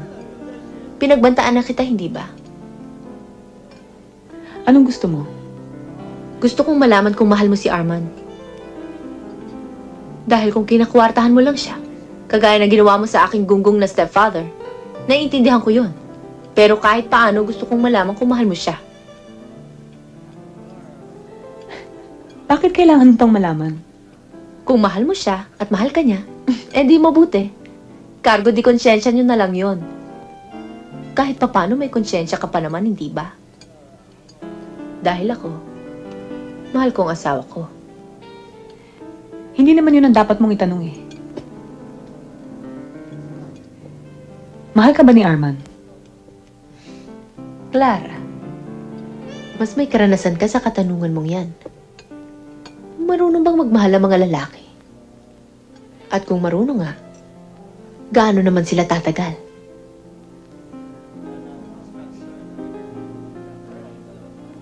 Dahil ako, asawa ko ni Arman. Eh ikaw, mag-isip-isip ka. Sa palagay mo ba tatagal si Arman sa ganyang klaseng babae? Hindi kayo tatagal. Masisirang pagkatao niya.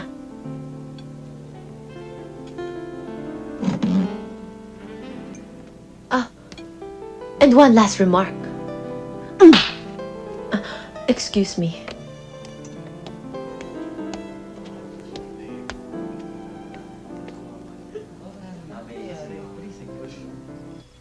Anong klase ba tong lalaking pinakasalan ko, Mami? Ano pa bang pagsasakripisyong gagawin ko? Para mapatunayan ko sa kanya na sapat na ako para maging tahimik ang buhay niya. Hindi ikaw may problema, Bettina. Si Arman. At kapag napagdaanan mo na lahat ng aking nalalaman tungkol sa kanila, maiintindihan mo. Sinong sila? Ang mga lalaki. Lahat ng mga lalaki with no exceptions. Paano mong nasabi yan? Wala sa atin ang pagkukulang, kundi nasa kanila. Ganyan ang mga lalaki. Hirap na hirap silang magmahal. Natataranta na sila pag nangangailangan sila ng iba, lalong-lalo na ng mga babae. Kahit nakasasakit na sila. Bettina, wala sa bokabularyo ng mga lalaki ang pananakit ng damdamin. Hindi nila naiintindihan yon. Hindi ko na alam ang gagawin ko. Napakadali. Pabayaan mo siya. At pag nagbalik si Arman, siya naman ang pag-iisipin mo.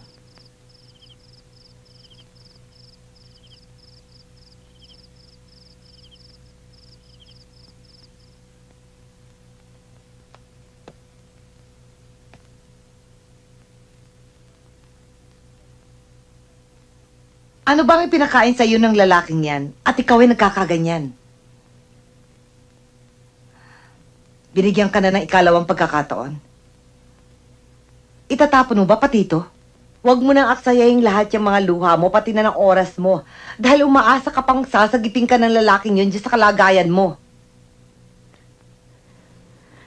Naguguluhan ako. Alam kong kapangasan tong ginagawa ko. Pero di ko mapigil ang aking sarili.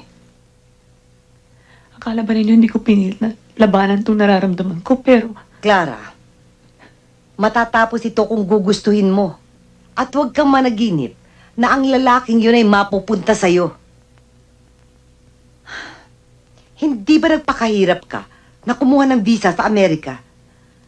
Magandang pagkakataon yun para sa iyo. At nangako pa ang pinsan mo na tutulungan ka oras na dumating ka sa New Jersey. Pangarap rin yun, Tia Shoni. Eto, nakikita mo ito? Ito ang bank buko at nariritong lahat ang naipon ko mula nung ako'y magtrabaho. Bukas na bukas, i-withdraw ko ang lahat ng ito. Ibili mo ng ticket. Hindi ko magagawa yan, Tia Shoni. Punyeta ka, Clara! Matauhan ka na nga! Hindi na namin makayanan ng kapatid mo na pinanonood ka habang winawasak mo lang ang buhay mo! Gusto mo bang matahimik o hindi?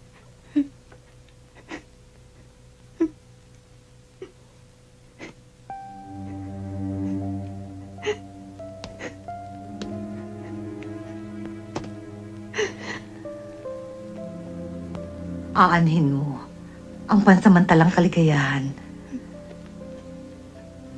Clara, kahit minsan, maging maramot ka. Anak, karapatan mo rin naman ang lumigaya. Bata ka pa. Huwag mong ipako ang isipan mo sa iisang lalaki lang. Maganda ka. Marami pang magmamahal sa iyo. Siya, siya, Tana.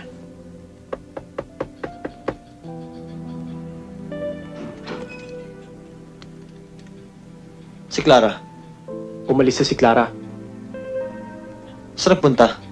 sa States. Doon muna siya titira sa bahay ng pinsan ko.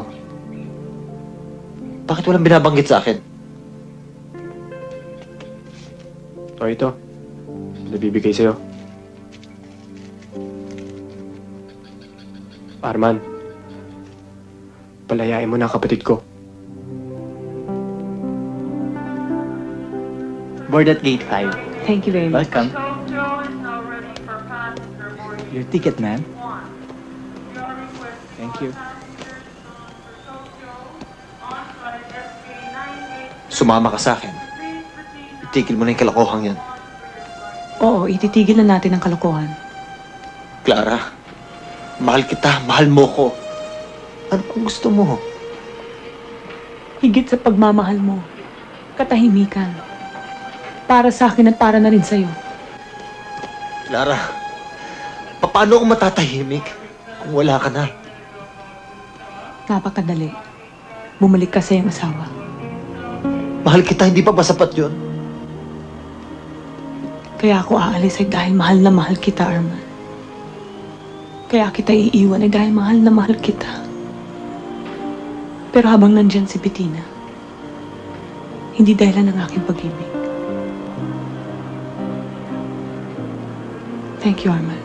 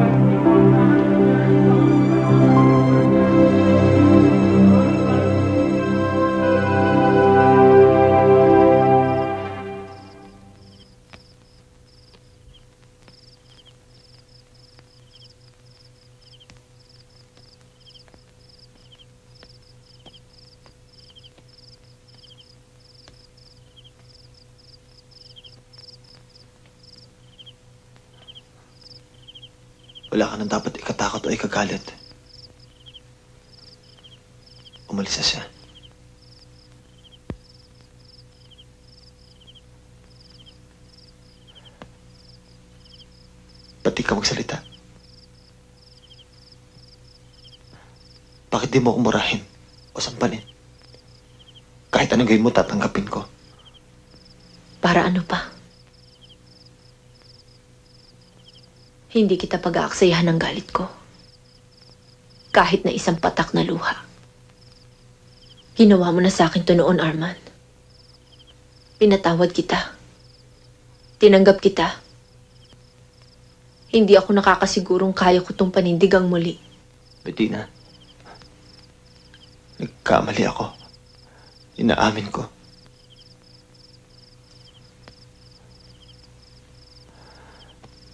Nagsisisi ako. Paano ako makakasigurong hindi mo na uulitin ang mga pinanindigan mong pagkakamali? Bettina, mahal mo ba ako? Ewan ko. Ayokong isipin.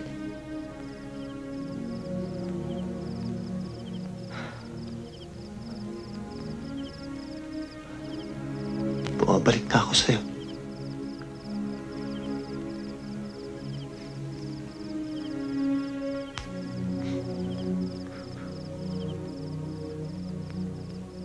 Kahit kailan, hindi ka naging asawa.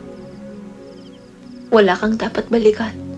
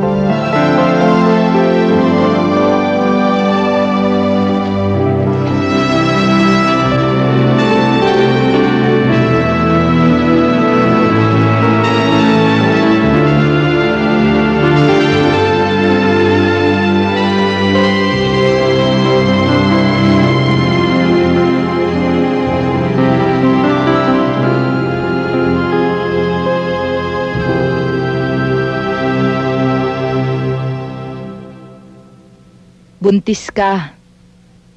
Magti three months na yan laman ng katawan mo. Kaya siguro nakakaramdam ka ng pagkahilo at pangangasim ng sikmura. Ang mabuti pa kaya ay kunan na kita ng blood test nang makasiguro tayo sa kalagayan ng bata. Tigilan mo na yung pag-inom mo ng gamot para sa mens, ha? Kailan mo ba huling ininom yung dati mong gamot? Carol?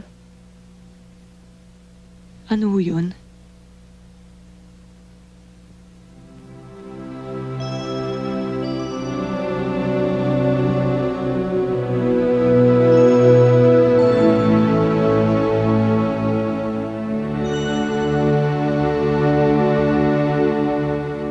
Ate, anong gagawin mo? Hindi ko pa alam. Plano mo ba huminto sa pagtatrabaho?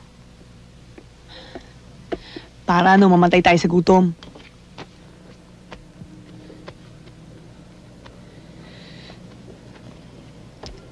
Tsaka na lang natin pag-usapan ito dahil naguguluhan ako. Pag nakapag-desisyon na ako, sasabihin ko na lang sa'yo, okay? Ate, pumunta dito si Mrs. Santos kanina. Sabihin mo sa kanya sa lunes na ako magbabayad. Ate, hindi na pwede. Ano bang gusto mong gawin ko? Eh, yung perang tinabi ko, kinuha mo sa akin dahil kailangan magbayad ka sa eskwelahan dahil kung hindi, hindi ka makakuha ng test. Ano gusto mong gawin ko? Manlob ako ng bangko para meron ako ibayad dyan sa bruwang kasera natin.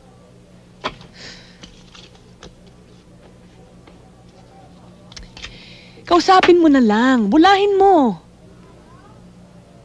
Eh, ate, kinausap ako kanina ni Arlene. Pwede raw ako magtrabaho doon sa restaurant na Angie. Kalokohan, masisira yung pag-aaral mo.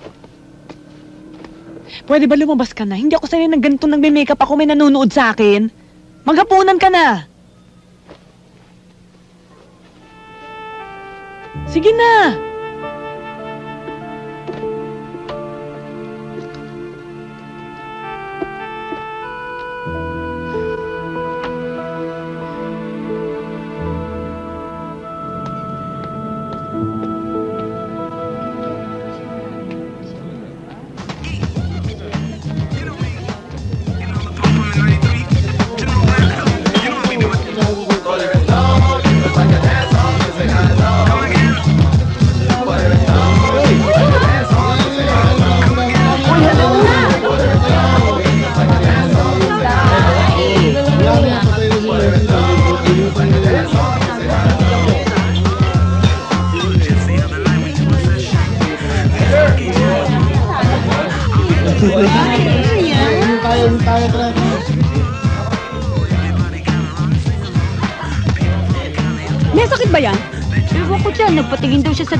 Naman siyang diferensya.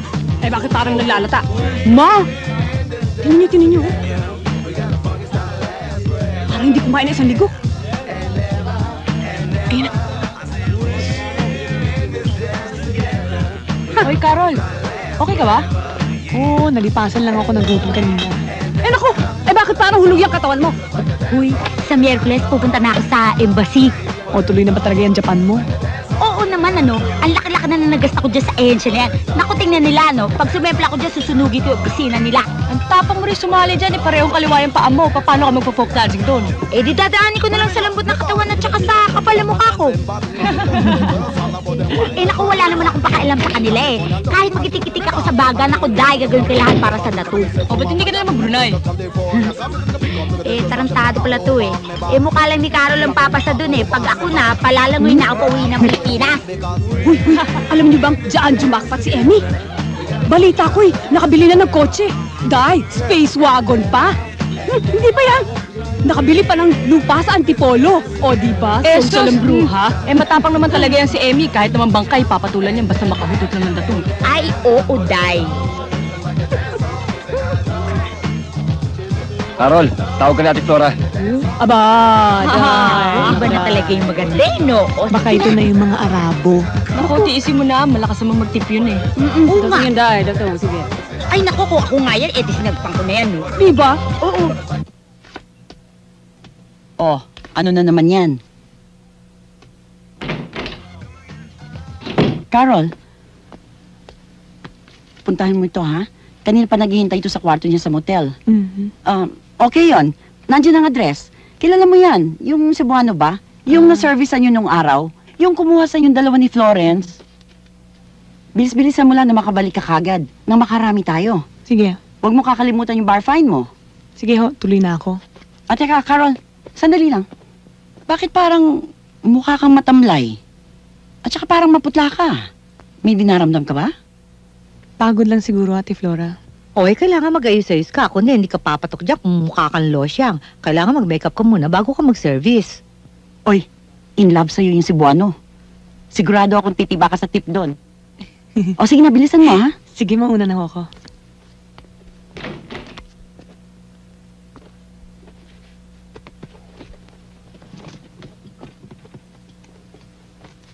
Dumating na yung attendant? Hindi pa.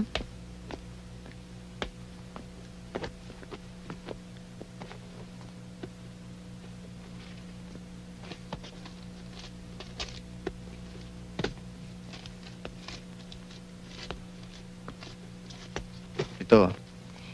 Thank you. Kamusta na nga pala yung kasama mo? Yung Morena, yung kadate ng friend Ah, si. Florence? Ay, wala na. Hindi na bumabalik yun sa ano, sa club. Bakit? Masenso May- na yun eh. May gumarahay na? Mhm. Eh sa'yo, wala mo nag-aalok ng, alam mo na. Ah, malabo. Eh, paano may kapatid ako? Eh, nag-aaral pa naman yun. Eh, kung meron magagarahe sa akin, di naman yung papayag, nakakalad ka rin ko pang kapatid ko. Eh, alam nga naman iiwan kong kapatid ko, kawawa naman yung kami na nga lang ng dalawang naiiwan sa mundo eh, papa. Ah, sandali. Baka yung attendant na to.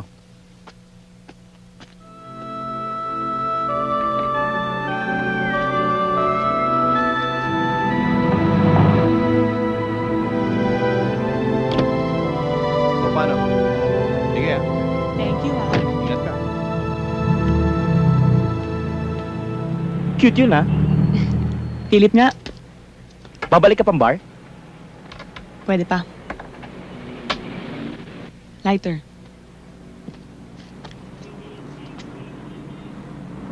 Ay, teka. Ano yung boss? Tingin naman ang mga chicks mo.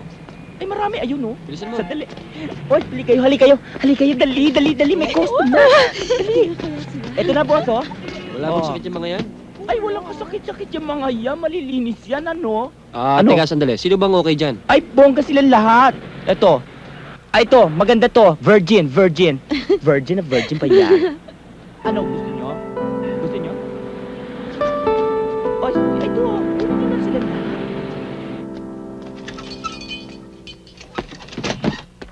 Gising na ba ang ate? Kanina pa. Ayun, nasa kwarto. Masama na naman ang pakiramdam. Pasok mo na nga to doon. Huwag mo na rin ako isog, hindi ako kakain dito.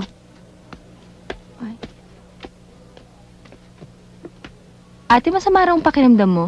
Init lang to. Pakiabot nga yung ah, medisina. Ito?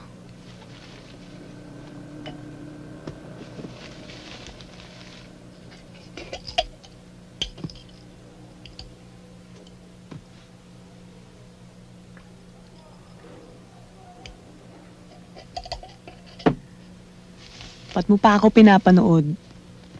Ah... ate, para ba sa sakit? Pampalakas.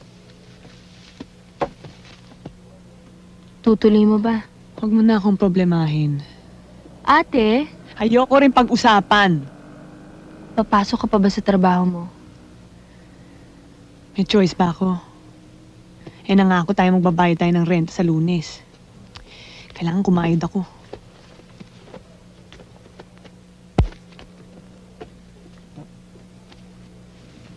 Tawagin mo nga si baby at sabihin mo pag-init niya ako ng tubig na pampaligo. Hindi ako kakain dito. Lalabas na naman kayo ng boyfriend mo.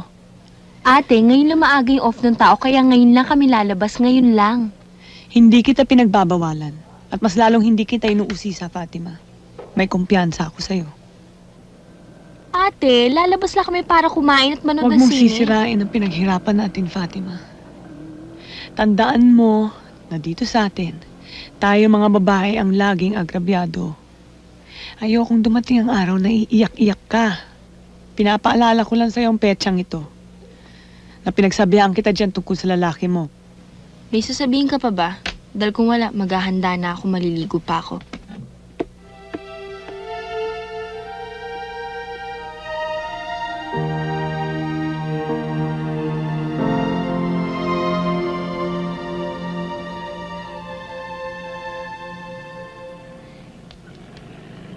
Kanina ka pa ba? Hindi naman. Sorry ah, kasi mahirap sumakay eh. Eh di sana dinaanan na lang kita. Let's go. Uy, Hmm?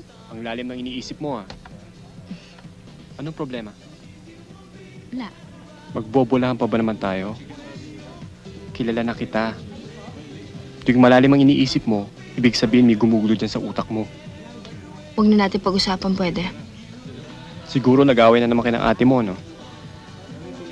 Pwede ba, Bodji? Kaya ako sumama sa'yo para wag na natin pag-usapan kung ano man nangyari sa bahay. Pwede ba wag na lang ngayon? Fatima, babalik at babalikan mo rin naman yung problema eh. Hindi naman malulutas ang suliranin kapag pinagtataguan mo. At hindi naman siya kusang masusolve hanggat hindi mo inaharap.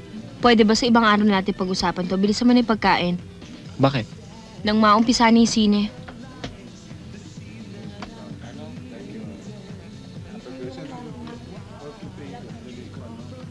Bago yung shoes mo. Mm. Galing States. Bigay sa akin ng pinsan ko seaman.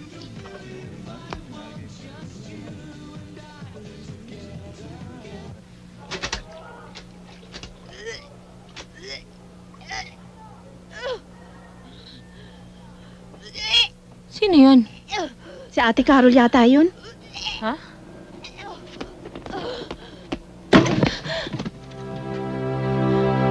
Ate?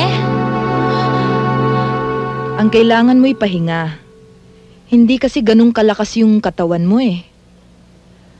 Bawas-bawasan mo na yung pagpupuyat mo, ha? Pwede pa naman eh.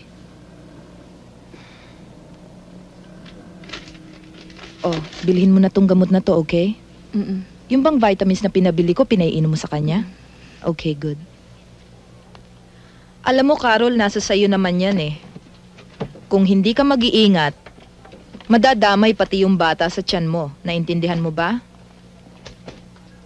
Sige, alis na ako, ha? Kasi naman yung kapatid mo eh, saksakan ng tigas ng ulo.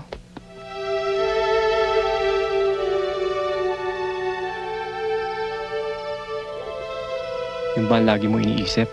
Yung sakit ng kapatid mo? Marami. Napakarami bagay, Bodji. Awang-awa na ako sa kapatid ko. Pero wala naman ako magawa. Alam mo, gusto ko pumasok sa isang trabaho. Kahit part-time lang. Pero ayaw naman niya ako payagan. Gusto ko lang naman yung para makapagpasok ko ng pera kahit papano. Awang-awa na ako sa kanya. Sa kanya pa rin ako umaasa. Humihingi. Alam mo, minsan, wala na nga ako allowance pero tumatahimik na lang ako. Kesa naman humingi na naman ako sa kanya. Alam mo, nung nandito pa yung nanay ko, ang lagi niyang sinasabi sa amin ng kuya ko, ang paghihirap daw ay pansamantala lang. Yung parang bang tinitesting ka lang ng Diyos. Ang tagal namang testing para sa amin to, Bodji. Yun nga. Kahit nasa London na ang nanay namin, hirap na hirap pa rin kami magkakapatid. Pati nga nanay ko, ewan ko kung ano kinakailangan niyang tiisin doon. Para meron lang siya mapadalang pera sa amin dito. Ayoko matulad sa kanila. Kanino? Sa nanay ko at sa ate ko. Hindi mangyayari yon.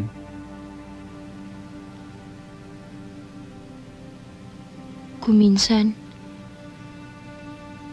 ang sama-sama ng panaginip ko.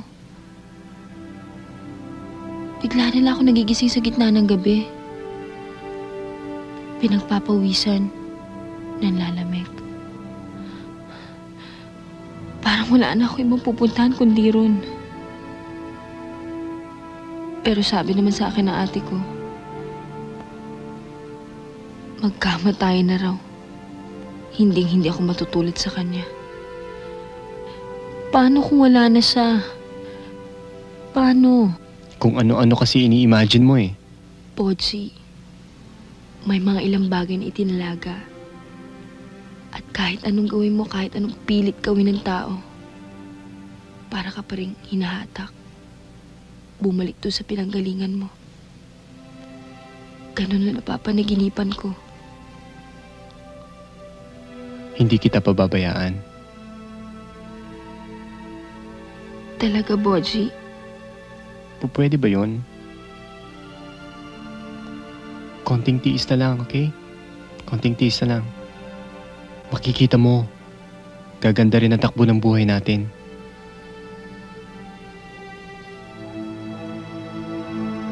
Nagkakausap pa rin kami ni Florence pero paminsan-minsan na lang. Kasi alam mo naman yung sponsor niya. Hmm, balita ko nga, gordyadong gordyado siya doon sa townhouse niya eh. Oo nga eh, pero okay lang yun, di ba? Biruin mo no Holy Week, pinasyal pa siya sa Hong Kong, tas ang Mhm. dami-dami pang pinamili sa kanya. Pero alam mo, Lorna, pag nakikita kita ngayon sa katayuan mo, natutuwa talaga ako para sa'yo. Sobra naman to, wala naman yan. Pinakasalan ka niya. Yun ang importante. Tingnan mo ngayon, no, ibang-iba ka na. Gaga, ano bang ibang-iba? Swerte ka. Nakatakas ka. Ganun lang yan. Pero alam mo, Carol, gabi-gabi nga, sagad ang pasasalamat ko sa Diyos kasi andi dito ako. Hindi siya perfectong lalaki. Pero sino ba naman na walang sahid sa ulo, di ba? Kahit naman ako rin may topak. Yun, pero sa totoo lang, siguro nga talaga sinete ko, no? Uy, kamusta na nga ba yung utol mo? Okay naman. Eh ano problema? Walang problema. Tayo pa ba naman eh maglolokohan pa? Ang tagal-tagal na kitang niyayayang bumisita sa akin, eh, minsan hindi mo ginawa. Nag-aalangan ako, yung asawa mo. Sabi kasi ni Marites. Naku, huwag mong pinagpapapansin yun. Ganun lang naman yun eh. Tsaka bakit ba? Pamamahay ko rin naman to, asawa niya rin naman ako, di ba? Huy, Carol, hindi mo pa sinasagot yung tanong ko. Huy, Buntis ako. eh, anong sabi ng boyfriend mo? Wala akong boyfriend. Eh, sino tatay niyan? Ewan ko. Ano? May isang sinwerte.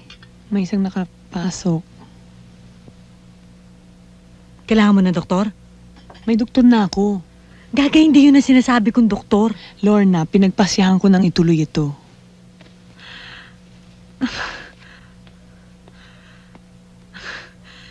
Naloloka ka na ba? Sandali lang. Tutuloy mo yung pagbubuntis mo, tapos... mag explain lang muna ako sa'yo. Carol, hindi mo pa nga alam kung sino yung, yung tatay ng batang yan. Ni hindi ka nakakasigurado kung sino maanghiting Poncio Pilato, Huda, Satanas ang naka... Pwede bang patapusin mo muna ako? Buong buhay ko, hanggang sa kaduluduluhan ng naaalala ko, palagi akong kumakayod para sa iba. Para sa aming nanay, para sa aking kapatid. Hanggang ngayon wala akong maalala na pwede kong tawaging akin eh. Pati kaluluwa ko, isinanla ko sa sari-saring demonyo para lang mabuhay kami ng kapatid ko. Alam mo yun. 14 anyos pa lang ako, pinubugaw na ako ng nanay ko para lang magkakwarta kami. 16 years old ako, sumasayaw ako ng halos hubot-hubad sa harap ng mga lasing at bastos na lalaki. Eh, ano naman ang connection yan sa mga hinanakit mo sa mundo? Dahil siya lang, Lorna. Siya lang ang tunay na akin. Paano pag tumanda na si Fatima? At magsarili na siya, paano na ako? Mangyayari at mangyayari yun. May sariling buhay ang kapatid ko. At wala akong pakialam sa kanya. Hindi ko siya mapipigilan. Paano na ako? Dadalawa na lang nga kayo, hirap na hirap ka na. Magluluwal ka pa ng sanggol sa mundo. Naisip mo na ba yon? Kaya nga babaguhin ko ng lahat, Lorna. Pag hindi dumating sa akin ng magandang swerte, ako ang maghahanap sa kanya. Hindi ko na ibebenta ang katawan ko. Ang susunod na lalaking makikinabang sa akin ay yung aking mamahalin. Napagpasyahan ko, magiging malinis na babae na ako. Isang mabuting ina. Hindi katulad ng ibinigay sa akin at nagtulak sa akin sa kalaswaan. Yan ang gusto ko, yan ang gagawin ko, at yan ang makukuha ko. Bahala ka. Eh, ikaw lang naman makakapag-desisyon sa buhay mo eh. Hindi ka ba naniniwala sa akin? Siguro. Dahil nadala na ako. Kaya hindi na ako nag-aasa sa mga milagro. Pwes, panurin mo ko. Ay, nako Carol. Loka-loka ka pa rin. Wala pa naman ako mapagkakakitaan kaya hindi ko pa sinasabi kahit kanino sa club. O, kunin mo na muna to. Ano to? Eh di ba, balato ko sa'yo kasi sabi mo sinerte ko. Hindi ko matatanggap to. Daga, para yan lang eh. Eh nung araw nga eh, halos isang linggo kitang pinuya dahil ikaw lang nagtsatsaga makinig sa akin sa pag-iyak-iyak ko, di ba? Dahil dun sa walang niyang Amerikanong pinakakuha na kung dadalhin ako sa Amerika. Utang ito ha. Babayaran ko ito pagdating ng panahon.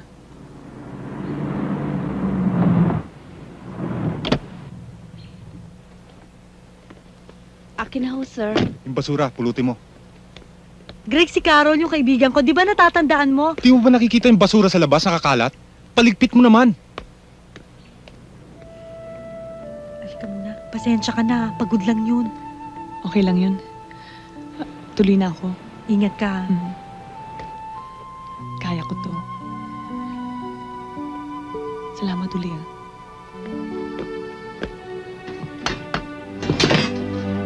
Ingat ka ha.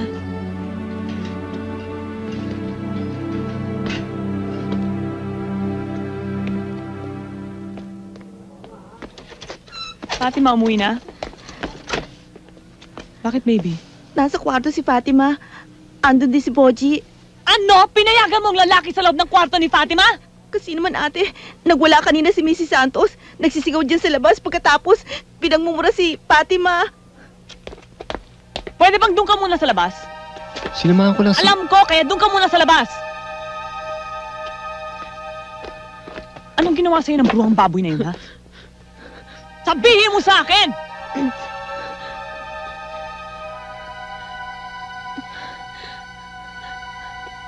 Ate, nangako raw tayo na ano, na, na magbabayad tayo nung lunes. Eh, wala naman ako maibigay dahil wala ka pa nga dito, ate. Ate, minura niya ako. Anong mura?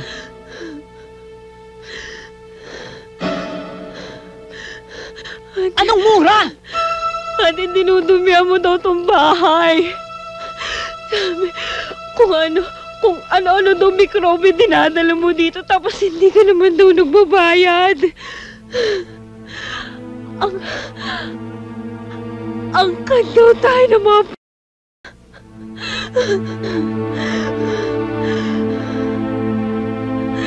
Kung ano-ano daw sakit sa lalaki, binibigay mo doon sa mga lalaki dito. Tama na yan. Ate! Sandali lang. Huwag kang makialam!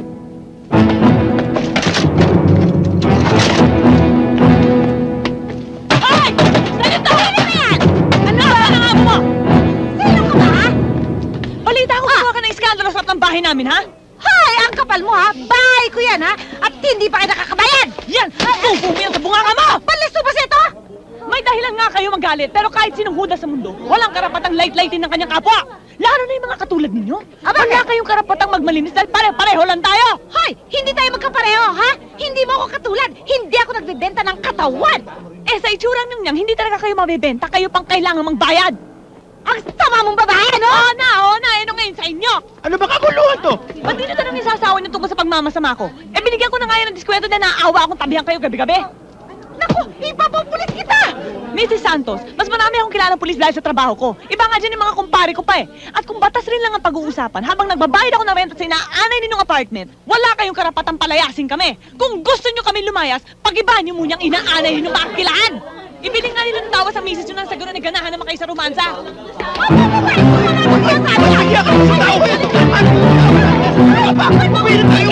Ate,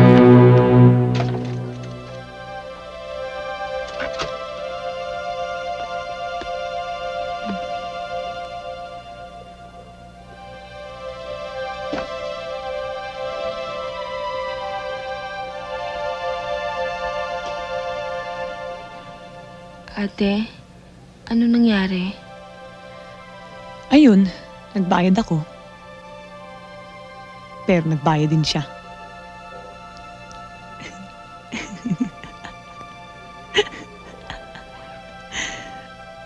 Halika nga rito. Ate.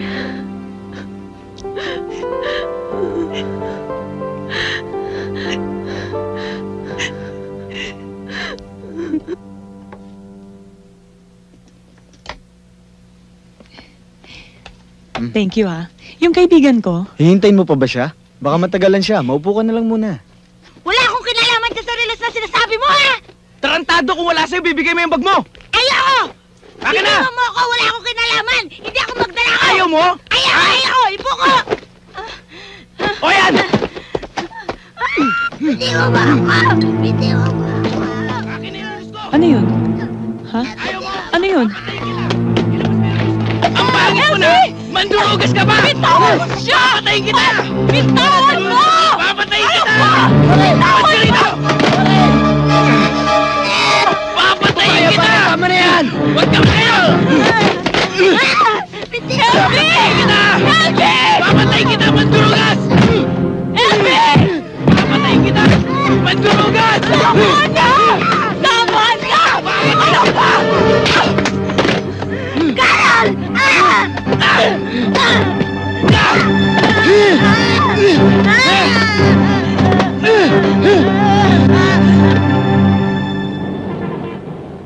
Edwin, sabihin mo kay Ben tumawag ng taxi. Opo. Bilis, sumama ka na! Bakit, Ate Flora? Si Elvie nasa ospital. Tumawag si Carol. Bakit ano nangyari kay Elvie? Naku, mama, dito, dali! Dalihan nyo dito! Saan siya? Andun, sa loob! Ay, loob! Ayun siya, oh! Dito! Kayo pwede pumasok!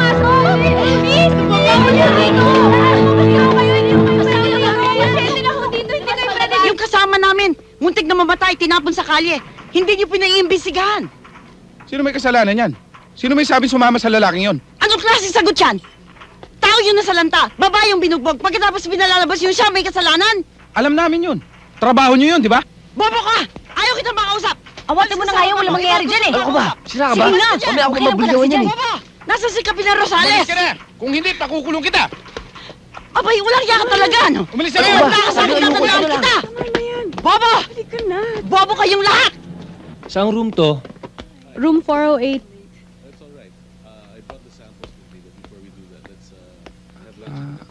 Anong ginagawa mo dito? Oo. Magkikita kami ni Bodji. Eh, medyo napaaga yung labas ko sa eskwela, kaya tumuli na ako dito pagka-base ko. Eh, kanina pa siya nag-off ah. Akala ko ba alas 4 yung off niya? Um, may lakad yata eh. Sige, baka hanapin pa ako sa loob.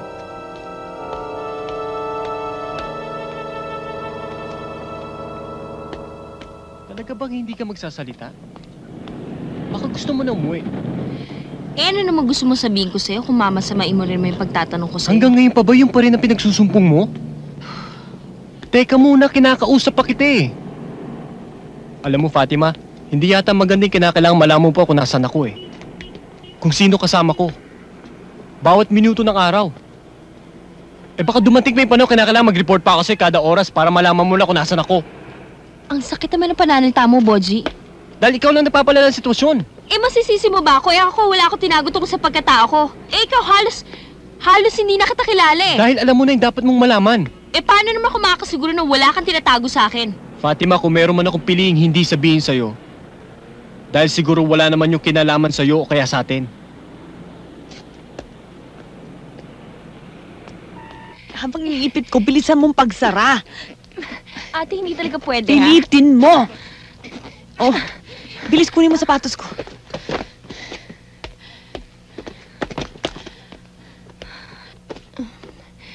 Ate, alam mo, makakasama sa baby mo yung iniipit mo yung san mo eh. Pareho lang naman kami nahihirapan, ano?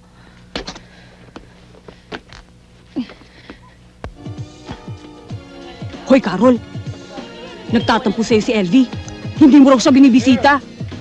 Eh, kailan ba siya babalik sa club? Eh, di pag naayos ang kanyang ngipin. Ay nako, siguro kahit yung pinaka-interesadong lalaki, hindi siya papatulan pag nalaman na bungal yung babayaran niya. Eh, paano? Tadyakan ba naman sa bunganga yung tao? Eh, di nalagas ang ngipin. Diyos ko. Carol, mag-usap nga tayo. Balik ka dun sa opisina. Mag-aayos lang po ako. Huwag na. Hindi ito booking.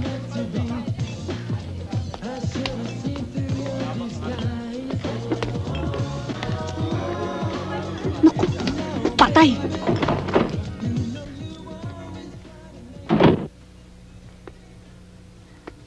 Ano po yun, Ate Flora?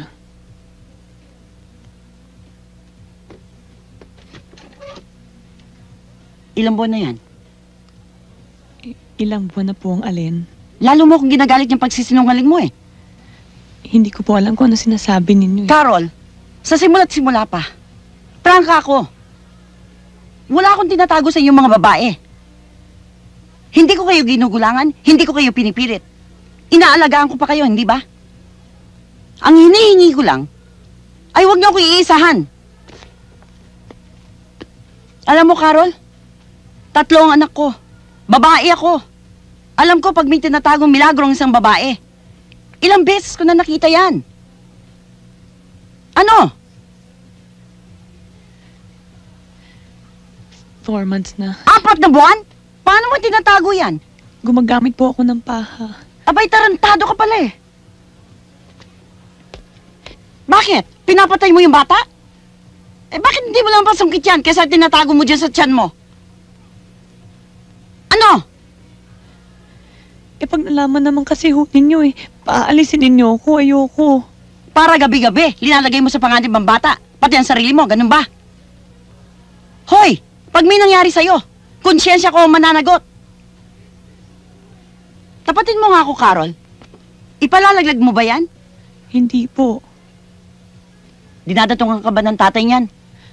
Pananagutan ko ho ito, ayoko siyang isangkot. Alam mo namang hindi ka pwedeng magtrabaho dito ng ganyan ang kalagayan mo. Pwede pa naman po ako, hindi pa ako buko. Sinong niloloko mo?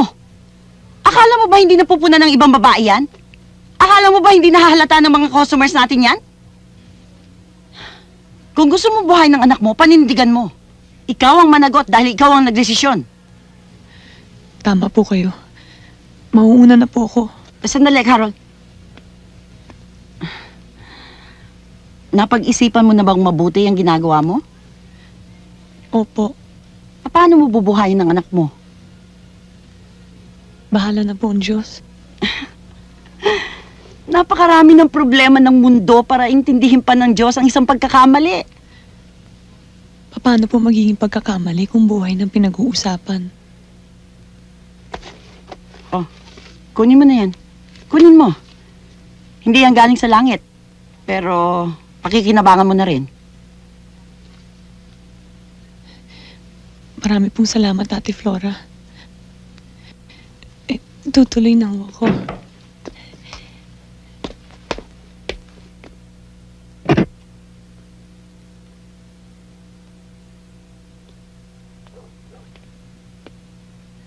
Ate, ba't ang aga mo umuwi? Ate? Bakit? Alam na nila.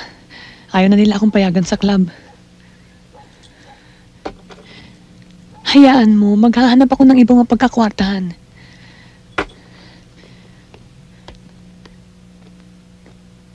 Eh ano naman trabaho mapapasukan mo? Eh wala naman mag-hire sa'yo kapag nalaman nilang buntis ka.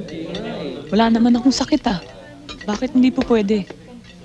Dahil masela na yung kalagayan mo. Kahit temporary lang. Kahit na anong trabaho.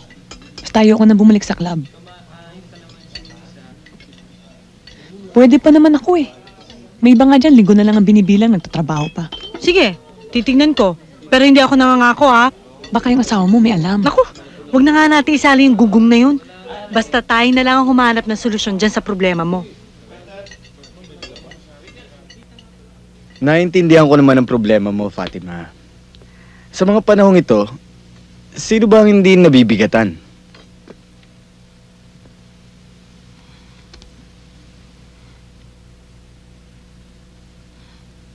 Pwede ho ba? Sa susunod na linggo? Humingi na tayo ng pabor. Ako na nga mismo ang nakipag-usap kay Mr. Dalu sa accounting. At wag na rin natin siyang sisihin. Sumusunod lang naman siya sa mga reglamento ng ating ah, paaralan.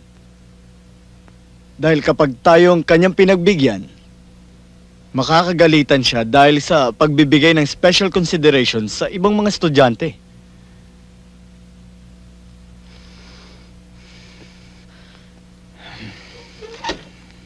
Naintindihan mo naman siguro. Dahil kapag ikaw ay pinagbigyan, dapat lang na pagbigyan din ng ibang mga nagigipit sa pera. Ano bang sabi ng ate mo? Wala po.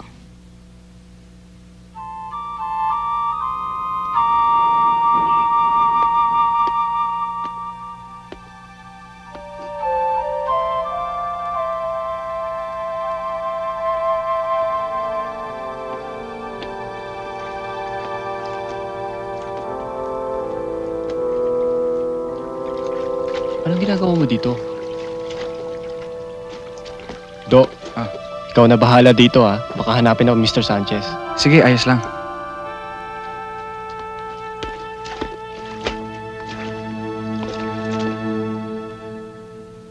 Magkano ba utang mo sa eskwela mo? Basta, Eh, baka naman kung kakausapin mo sila eh. bus ng laway ko sa pakikipag-usap ko sa kanila. Kahit anong pakiusap naman ang gawin ko, eh, wala rin naman nangyayari. Eh maganda naman ang grades mo, di ba?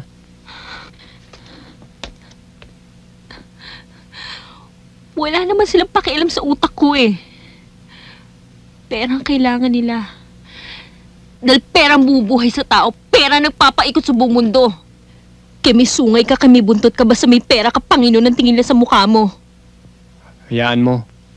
Gagawa ko ng paraan. Ikaw, para naman hindi ko alam yung mga problema mo.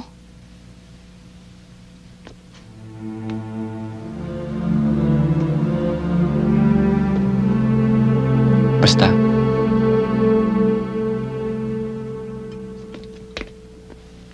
Ba't sabi ni baby hindi ka raw pumasok sa eskwelahan?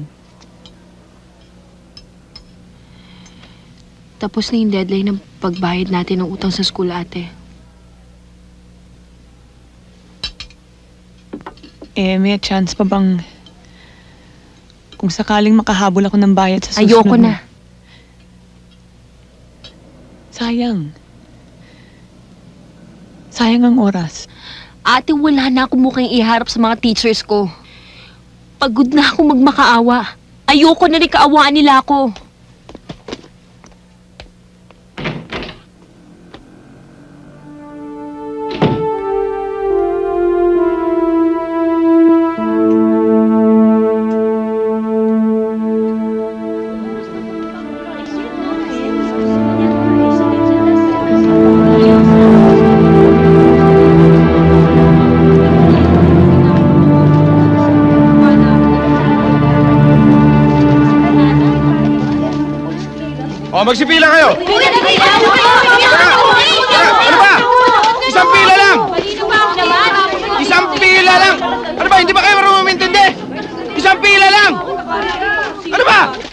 Kausapin ko si Shirley, ha? Yung boyfriend niya kasi, yun yung manager ng Paradise Island. Ngayon, alam ko na nangangailangan sila ng dancers dahil yung... Yung mga dancers nila, nagsipag-Japan ata eh. Carol, tumayo ka nga, tingnan ko yung puson mo. Marites, salamat na lang. Hoy, magising ka nga sa ilusyong pinasukan mo. Anong gagawin mo? Papasok ka ng pabrika, magkano kikitain mo araw-araw? Eh, paano yung gagastusin mo pag iniri mo na yung anak mo? Naumpisahan ko na. Paninindigan ko na to. At saka pag naipanganak ko na itong baby ko, hindi na rin naman ako babalik sa club eh.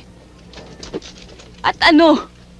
Maghihintay ka na isang dakilang lalaki na sasagip sa'yo. Yung hahatakin ka sa lahat ng kaguluhan, bibigyan ka ng bahay sa Forbes Park, doon ka ititira, bibigyan ka maraming damit, yung mamahalin pa at gagawin ka isang kahanga-hangang misis. Carol, ni sa sine nga hindi na ginagawa yun eh. Totoong buhay to, ano ka ba? Lahat tayo ipinanganak na may kanya-kanyang kinalalagyan. At hanggang doon na lang tayo. Yung iba, oo, siniswerte sila, no? Pero yung iba, tinatanggap na lang nila kung saan sila itapon ng, ng tadhana. Hindi ka na makakalaban doon. Pues, ibahin mo ako. Dahil ako lalaban ako. Ayokong lumaki itong aking anak na pinandidirian ng kanyang ina. Galing na ako sa sari-saring impyerno. Wala nang hihigit pa dun. Lalabanan kong tadhana kung kailangan. Uy, may bisita ka pala. Ah, oo, si Carol. Kilala mo siya, di ba? Nandito siya nung birthday ko.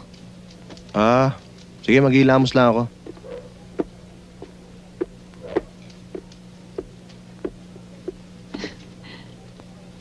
Kamusta na yung boyfriend mo? Ayun, pakombo-kombo pa rin. Pareho mo, ayaw pa rin sumuko. Nag-iilusyon pa rin na siya raw ang agaw ng corona ni Gary Valenciano. Lahat tayo may pasang cruise. Sinabi ko na sa'yo, ako? Ride na lang ako ng ride. Wala na maaaring ihirit pa sa akin yung tadhana.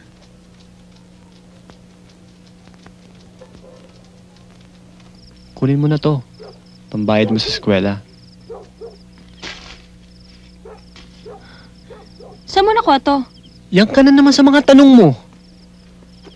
Bakit kailangan malaman mo lahat? Hindi ko matatanggap to. O yan ka na naman, pinapaira mo na naman yung pride mo eh.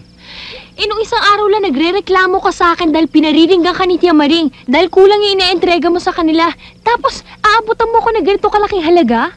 Naipon ko yan, okay? Naipon ko. Yan yung mga tip na nakukuha ko doon sa hotel na pinapasukan ko. O, masaya ka na. Tutuloy na ako. Malilate na ako eh. Kunin mo to pera mo, hindi ko tatanggapin to. Fatima, ano ba problema mo? Marami akong problema. Pero hindi ako umabot sa sukdulang magmamalimos ako ng pera sa'yo. Thank you. Pero sana naman sa susunod, hintay mo muna akong humingi ng tulong sa'yo. Bago mo ako bigyan nito.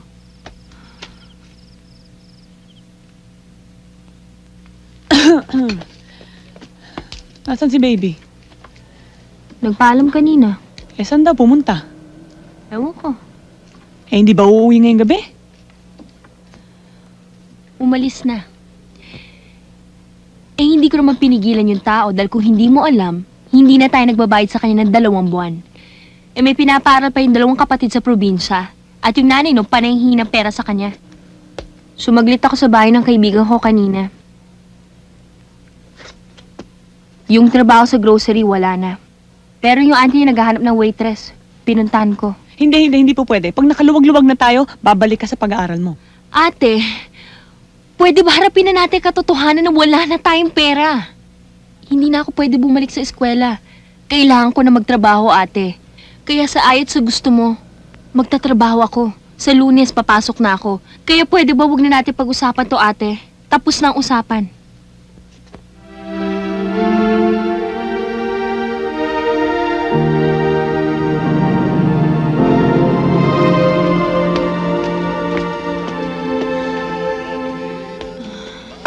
Yellow? Naku, sinabi ko naman sa'yo na gumamit ka na ng luman sapatos para hindi ka kinakalyo. Sanayan lang naman yan.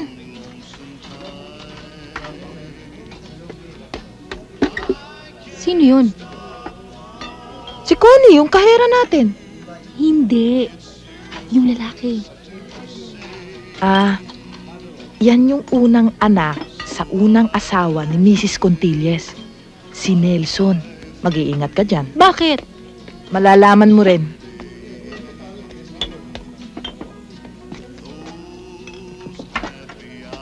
Alam mo, mabait yung pinalitan mo eh, si Arlene. Di hamak na nauna sa akin yun. Kaya lang, kailangan niya umuwi ng probinsya kasi namatayan yun na ama eh. Alam mo, masaya naman dito eh. Kasi, lalon-lalo na pag hindi inaaway ni Mrs. Contillas yung asawa niya. Ayun, sweet-sweet naman niya. Kaya lang, pag dumating ditong salubungang kilay, tsaka nagsisisigaw, ako sigurado yan. Inaway na naman niya yung asawa niya dahil nahuling ng bababae. Ah, saan ka ba nakatira? Isang sakay lang sa may Rojas. Naku, ingat ka dyan sa kanto. Alam mo kasi daanan yun ng mga lasing. Alam mo yung kasamahan namin, si Virgie, naku, napagtripan. Muntik nang ma-rape. Kaya lang may dumaan na isang grupong tanod, kaya hindi na siya na-rape. Sige, mauna na ako ha. Paalam, sir. Ikaw pala yung bago. Hindi ka pa pinapakilala sa akin, Mami. Si Fatima po. Ako po yung classmate ng pinsan niyo si Beth. Sa lagay na yan, nag-aaral ka na, nagtatrabaho ka pa. Huminto po ako. Nagkikot ka ba? Mm, financial po. Sige po.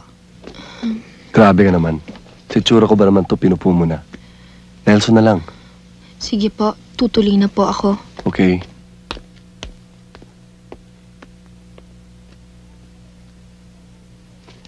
Oh, ganitong oras ka ba uuwi gabi-gabi?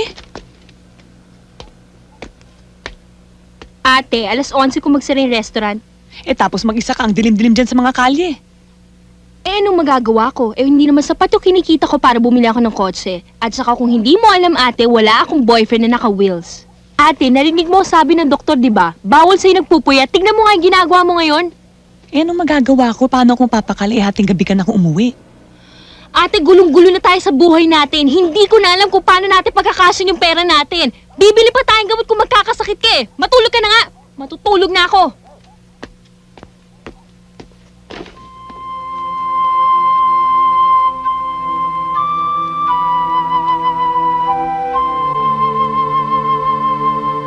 Kahit temporary workers lang ang kailangan namin, mahirap yung kalagayan mo. Ilang buwan na lang siguro hindi ka na makakapagtrabaho. Eh, malakas naman pong resistensya ko eh. Ano lang ba naman ho yung manahi ako? Akala mo lang madali. Alanganin ang oras namin dito. Kung minsan nga, kakailanganin ng mga trabahador, naabutin ng hanggang alas 4 ng umaga para lang makaabot sa kota ng mga i-export. Eh, kaya ko naman ho yun eh. Sir, kailangan ko lang ho talaga ng trabaho eh. Alam kong hindi niyo ako kilala. Pero kung pwede lang tulungan ninyo ako. Saan ka nga kamo nakatira? Ay, naku, Mamang Bulit. Talaga ho. Naku, napakalaking konsumisyon ho sa buhay namin yung babaeng yan. Kaya kailangan talaga mapalayas yan dito. Anong ibig sabihin nito? Sino may utos? Ay, naku, subukan mong gumawa ng gulo at matutulog ka sa presinto. Oh, ayan, pirmado na yan ni Mayor. Hindi ninyo pwedeng gawin ito dahil nagbabayad kami. Ano Nagbabayad kami! Hindi kami ate! Tama na! Hindi pwede! Ate! Kayo na! Tama na! Na! Tama na! Aba, huwag mo! Wala kayong ilan! Magbabayad ka dyan! Magbabayad ka pa! eh. Linis mo nga yan! Tama na! Nagbabayad kami! Tama na! Ang kapal niya! Magpahinga na lang muna kayo dyan. At tapos pag ginutom kayo, humingi na lang kay kay Manang. Yes, ma'am. Lorna, pasensya ka na. Talagang wala lang ako matakbuhan. eh. Naku, walang problema yan. Basta kung ano man ang kakailanganin nyo, andito lang si Manang. Siya nang bahala sa inyo. Um, okay lang kayo? Um, um, Ma- Manang, kayo nang bahala sa kanila. Salamat. Salamat talaga. Naku, wala ano man. O sige, mauna na ako ha. Sige.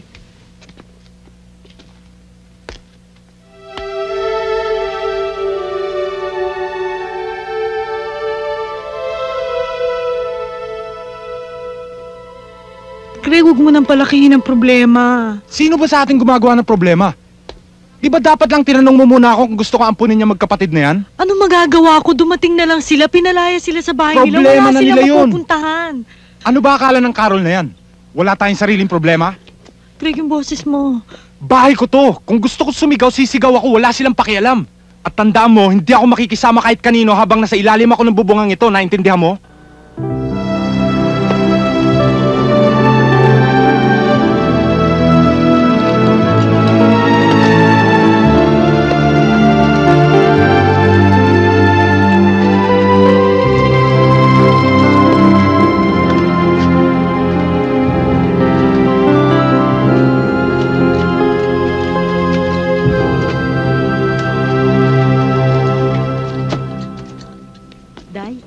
Naman. Masisira ulo namin sa'yo. Maingay kasi sa loob eh. Hindi tayo magkakarinigan. Kailan ang June yan? January pa. Anong gusto mo, babae, lalaki? Kahit na ano, basta normal. Sa bagay. Eh, yung mister mo. Wala akong mister. May tatay lang itong bata. Kawawa naman siya. Hindi pa bawal yan dito? Bawal kung mahuhuli.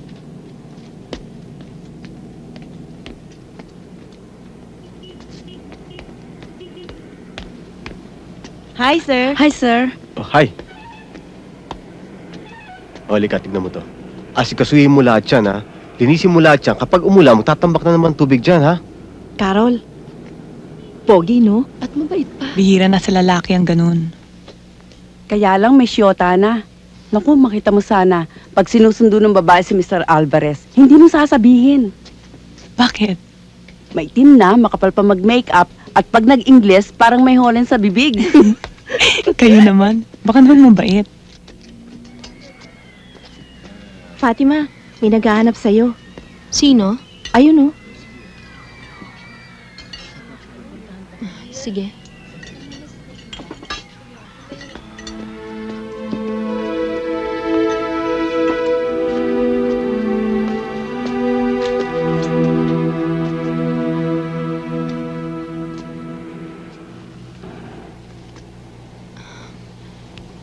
Nagtatrabaho pa kasi ako eh. Hindi tayo pwede mag-usap na matagal. Nagpunta kasi ako sa apartment niyo eh. May mga karpintero nag-ayos doon. Hindi na pala kayo doon nakatira. Paano mo nalaman to? Nagtanong-tanong. O ano? Ikaw yata dapat tanungin ko niyan. Eh kasi hindi talaga kita pwede makausap na matagal. Baka sitayin ako sa loob eh. Paano kita makokontak? Ah, may papel ka ba dyan sa kaballpen?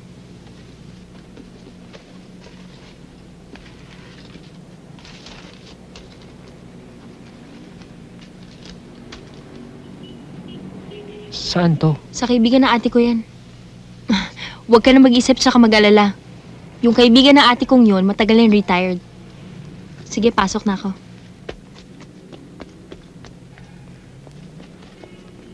Fatima, tawag ka ni Mr. Nelson. Bakit daw? Ewan ko.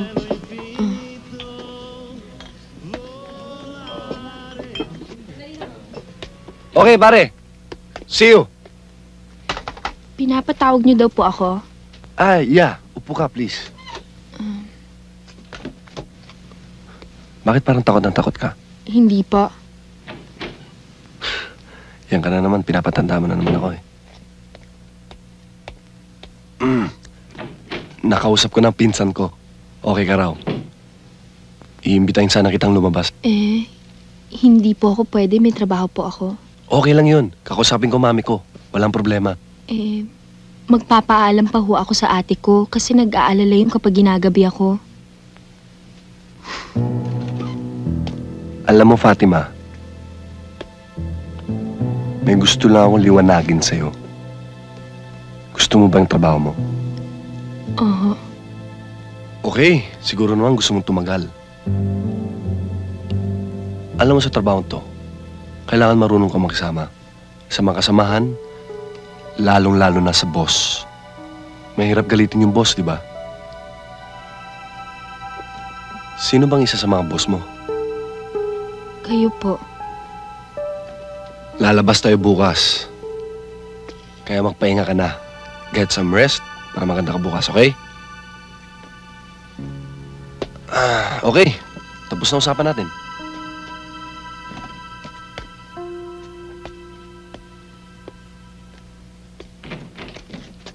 Okay. Oh, ba't gising ka pa? Maaga papasok mo bukas ah. Eh baka kasi pauwi na si Fatima, hindi pa kumakain yun eh. Ayoko namang istorbohin si Irma dahil pagod na pagod na. Baka naman makasama sa'yo yan. Hindi, okay lang to. Lorna, alam mo, sandaling-sandaling panahon na lang kasi wala akong tiyempong maghanap ng bagong malilipatan kasi busy-busy ako sa trabaho ko eh. Sus, walang problema yan. Hindi kasi yung hiya na ako eh. Sa'yo lalong-lalo na sa asawa mo. Ay nako, kung yung asawa ko lang, huwag mo nang pinapapansin yung si Greg. Alam mo naman yung puro tahol, mapuro naman ang ngipin. Ano, okay ka na dyan? Oo, okay lang. Ah, sige.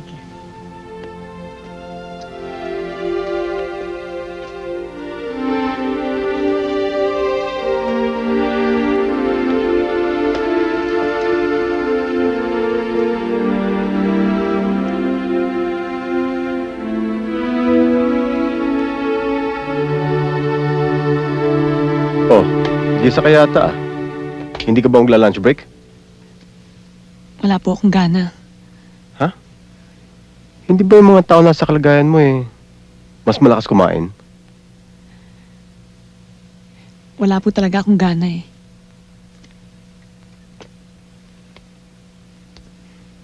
Bawal kumain dito. Halika, sumama ka sa akin sa opisina. Bakit po? Eh di samahan mo kumain. Marami akong na-order, medyo busog pa ako. Nag-heavy lunch pa kanina. Oh, anong ginagawa mo dyan? Hindi ka mabubusog sa iya.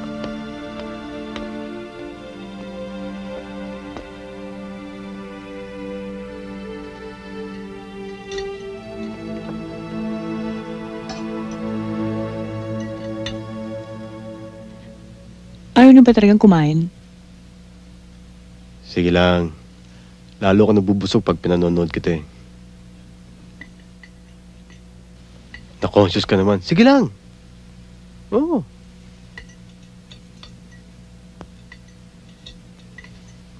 Tuloy mo nga yung kwento mo. Um, iniwanan ka ng tate ng anak mo. Oh. Oh, Wala ba siyang plano suportahan kayo mag-ina? Hindi ko nga alam kung nasaan siya eh. Ano ba ang trabaho mo bago ka pumasok dito? Nagbibenta. Ano binibenta mo? Kung ano-ano. Ay, yung kapatid mo. Napuwersa na siyang tumigil sa pag-aaral eh. Nagtatrabaho siya ngayon. Waitress siya. Wala ba kayong kamag-anak dito? Nakikitira lang kami sa bahay ng kaibigan ko. Dala palayas na kami sa bahay namin eh. Hindi na namin kaya yung renta. Naghanap nga ako ng bagong bahay ngayon pero kamamahal. Yung 500 nga, kahit baboy, aayawan eh. Eh magkano lang bang kinikita namin magkapatid? Kaya ba't nitipid mo sarili mo? Kaya ba hindi ka kumakain? Ganun ba? Hindi naman po sa nagtitipid ako, pero wala talaga akong pera eh.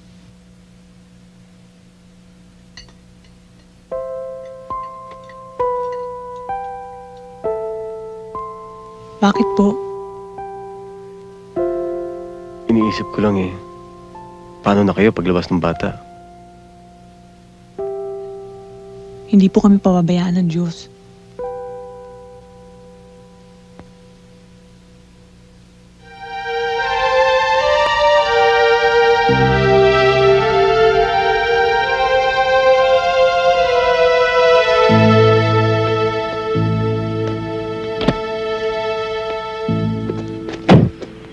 Tagal mo? Eh, mukhang nahalata yata tayo nila eh. Pakialam niya. Pwede ba binabayaran na siya ng nanay ko? Isan ba tayo pupunta? Mag-enjoy.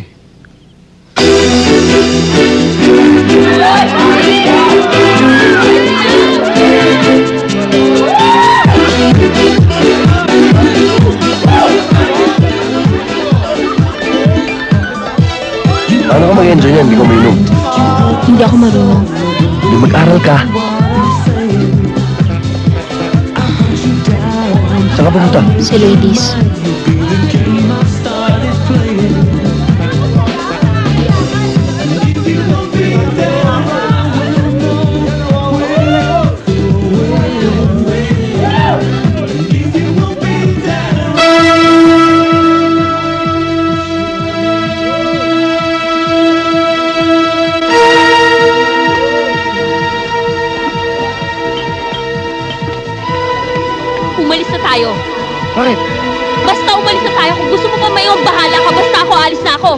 Soy! Sandali! Gaano katagal na ba dito mga kaibigan mo? Greg, naghahanap pa sila ng malilipatan. Eh paano naman sila makakaalis dito? Mukhang kontentong kontento na... Yung boses mo. Kaibigan mo siya, di ba? Ikaw ang makisama sa kanya. Dahil ako, wala akong utang na loob sa babaeng yan. Wala akong dapat pagbayaran sa kanya. At saka tandaan mo, pamamahay ko to.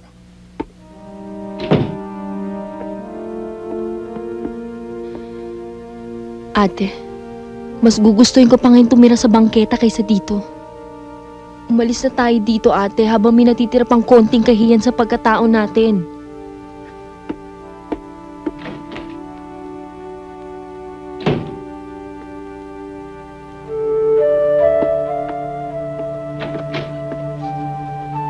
Carol? Oh, Lorna. Alam mo, may maganda rin akong balita sa'yo. Pero sige, ikaw muna. Ah, kasi Carol, si Greg may pinsan. ah, taga Cebu. Ah, di po yatang gustong pumunta na Maynila. May asikasuhin daw na negosyo. Eh, wala matitirahan. Alam mo, tamang-tama. Kasi si Marites, may inalok sa amin, yung lumang silong dun sa bahay nila, wala na kasing umuupa. Eh, tamang-tama lang sa amin ni Fatima yun eh. Eh, kahit bukas nga, pwede na kami lumipat eh. Naalala mo pa yun, di ba? Yung, yung, yung Marites. Oo. Mabuti yun kasi at least pag manghanganak na ako, ikakatok lang ako dun sa kisame, eh, bababa na si Marites. Yun naman pala eh. Dapat nga magpasalamat ako sa iyo eh. Dahil sa lahat ng tulong na binigay mo sa akin. Kaya ka pinagpapala ng Diyos. Mabait ka kasi. Carol? Alam mo, huwag ka nang magpaliwanag sa akin. Ako nga dapat humingi ng dispensa sa iyo eh. Ah, mauna na ako. Ah, ano? Mamaya na lang ako mag-aayos pagbalik ko dito. Sige. Okay? Oh, sige. Sige, ingat ah. Tinabla na rin pala ng hiyayam ang kaibigan mo. Ang ibang tao nga naman. Sobrang abusado. Magmagandang loob ka na, sasagarin pa. Talaga bang wala ng preno yung bunganga mo? Daig mo pang manok na nangingitlog ah. Putak ka ng putak. Ba't ka nagagalit? Totoo naman lahat ng sinasabi ko ah. Dahil hindi mo kilala si Carol. Hindi mo naiintindihan ang lahat ng pinagdadaanan na tinitiis sa mga katulad namin para lang maisaayos ang buhay namin. Huwag mong itutulad ang sarili mo sa kanya. Asawa na kita. Ang kitty talaga ng utak mo, Greg. Kahit ano pang gawin mo, kahit sa sulok mo pa yung ulo mo itago, ako pa rin to. Pareho kami ni Carol, iisa ang pinagbulan namin. Yan na nga sinasabi ko. Sandali lang kayo nagsama ng babaeng yan kung ano-ano na nasa isip mo. Bakit hindi mo ba matanggap ang katotohanan? Kahit ano pang ibihis mo sa akin, kahit ano pang kwentong sabihin mo sa lahat ng kamag-anak at kaibigan mo, naging pa rin ako. Marami pa rin lalaki na kinabang sa akin bago ka dumating at alam mo yan. Alam yan na maraming tao. Greg, lalo-lalo na alam ko.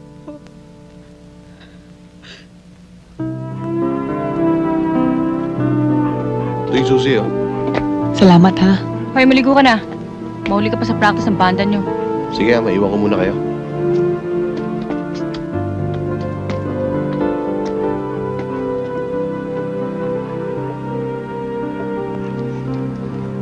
Ano? Okay ka ba? Oo. Huwag mo na kami intindihin. Okay lang to. Halika nga dito. Oh, alis na ako. Sige, Sara. Ingat ka.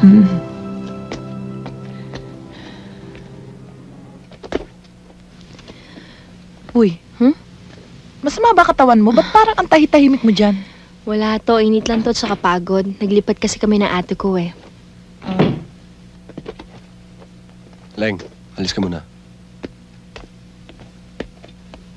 Pinahiya mo ako kagabi. Nagmukha akong tanga sa disco.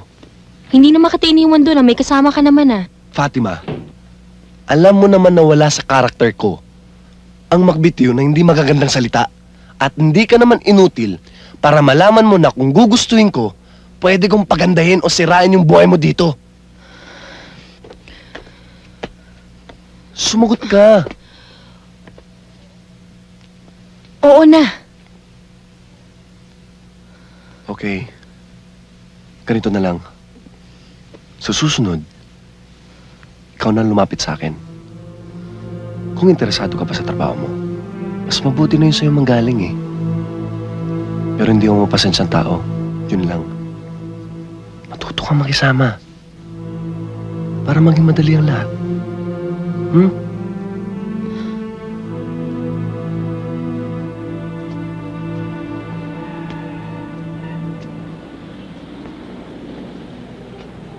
Susunduin na lang kita mamaya pagkatapos ng trabaho mo. Bakit? Wala ba kayong lakad ng kaibigan mo? Sinong kaibigan? Eh di sino pa? Di yung matandang bakla na kasama mo si Disco. Alam mo, biglang luminaw eh. Dati, gulong-gulo yung isip ko. Hindi ko maubos maisip kung saan mo kinukuha yung pera na pambili mo ng mamahaling rubber shoes. Kaya ngayon, susumbatan mo ko. Sisermulan mo ko tungkol sa aking pagkatao, ganun ba?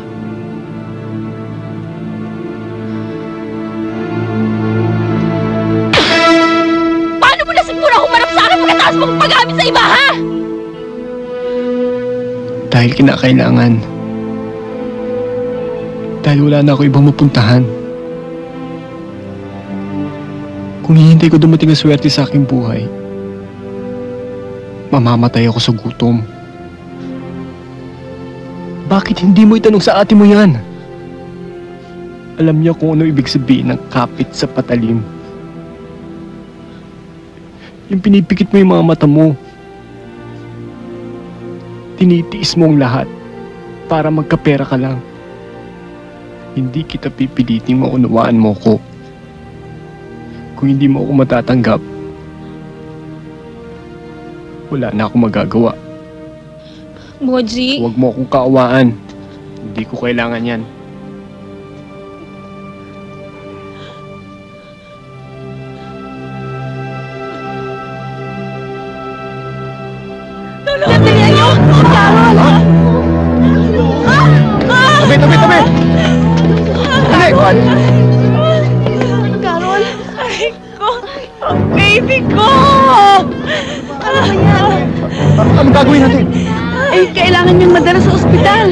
Dali natin sa ospital. Ha? Dali natin sa doktor. Tabi! Tabi! Naagapan namin kaagad kaya hindi apektado yung bata. Kailangan niya eh pahinga. Bakit to, doktor? Eh, mahina ang kapit ng bata sa matres. Kaya kailangan niya relax, pahinga ng todo. Kailangan mo bang huminto siya sa pagtatrabaho? Ah, nasa sa kanya yon. Pero mapapalagay sa peligro ang bata, pati na rin ang buhay niya. Salamat, Dodi ah. Anytime.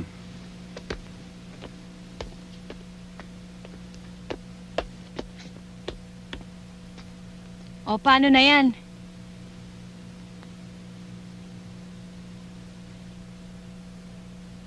Eh, ikaw naman kasi, Acheng, ang tigas ng ulo mo.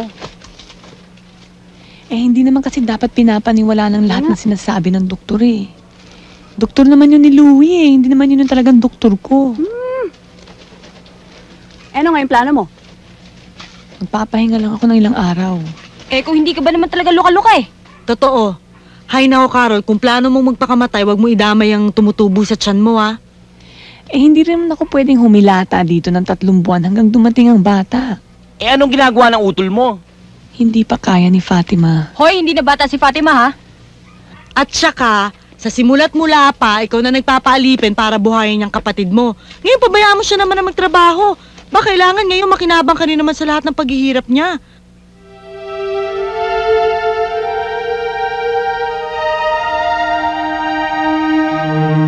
Kanya tayo binigyan ng Panginoon ng utak at saka kamay eh para gamitin ito sa tama. Hindi ka ba titigil hanggang hindi mo nababasag lahat ng mga plato dito sa restoran na ito? Ilang araw ka lang dito? Ilan na bang plato ang nabasag mo? Hindi ko naman po sinasadya. Aba, siyempre naman ano ha? Alangan namang sadyain mong basagin lahat ng mga gamit dito. Huh? Alam mo, Fatima, kung ganyan ka ng ganyan, ay naku, hindi ka uubra dito. Nagpakita lang ako ng pakikipagkapwa-tao, kaya kita tinanggap dito. Eh pagkatapos pa iiralin mo yung pagkaburara mo? Hmm.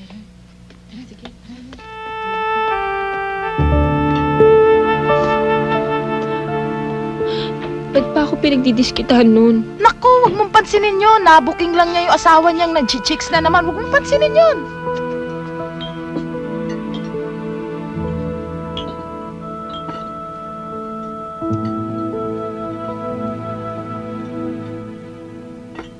Kanina mo pa tinititigan yung pagkain mo, Fatima.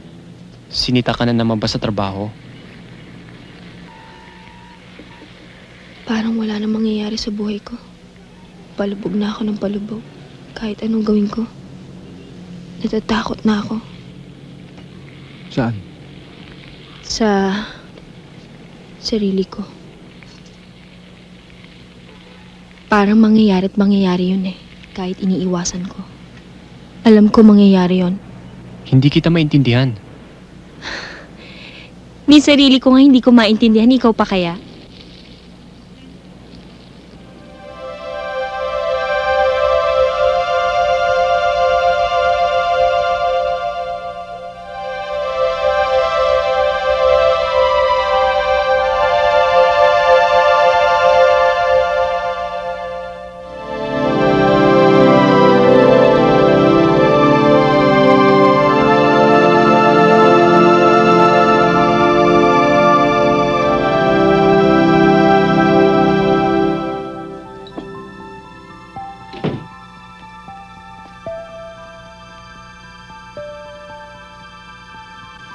Bakit? Anong problema?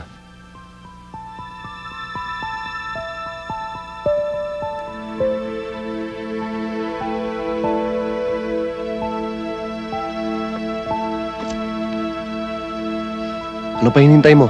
Gubad ka na.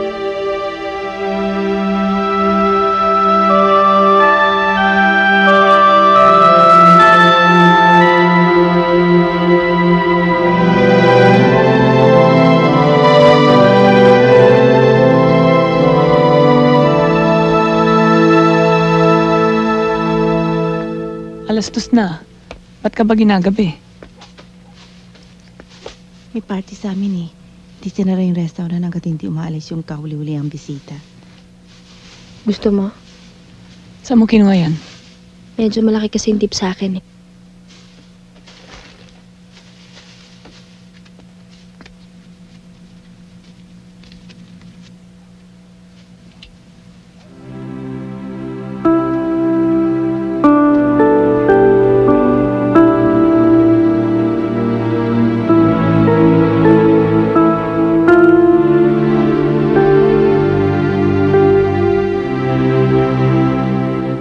Mas maigi ka na ngayon, pero hindi ka pa rin pwede magpagod. Pero Dok, hindi naman nakakapagod ang pananahi eh. Ano bang hindi? Eh yung pagbiyahe-biyahe mo, yung pag-commute-commute mo mula sa tirahan nyo hanggang sa pabrika, o di ba nakakatagtag din ng katawan yon? Carol, may sasabihin sa'yo si doktor. Bakit may diferensya ang baby ko? Ah, hindi naman tungkol sa... Well, it's about the baby. Ikaw na. Eh, ikaw na nga magsabi sa kanya. Ah, wag mo mamasamay ng sasabihin ko sa'yo, Carol. Pero habang maagay, mayroon akong klarong alternatives para sa mga darating na events. Ano alternatives? Hindi natin masisigurado ang iyong kalagayan pagkatapos mong manganak. I cannot be sure how long it will take bago ka makapagtrabaho. Hindi kami sigurado sa buhay mo pag nandyan na yung bata. Ano ba talagang gusto niyo sabihin, Dok? Meron mga social workers na nagpupunta rito. Marami mga asawa na hindi sinuswerte magkaroon ng anak. Ngayon, pumupunta sila rito para Hindi mag... ko pinamimigay ang baby ko. Carol, Carol, ba't di mo na pakinggan ang sasabihin ni doktor? Hindi, kahit na. Umabot na ako sa kalagayang ito. Hindi ko pamimigay ang baby ko. Akin ito. Ako ang ina, akin ang baby ito.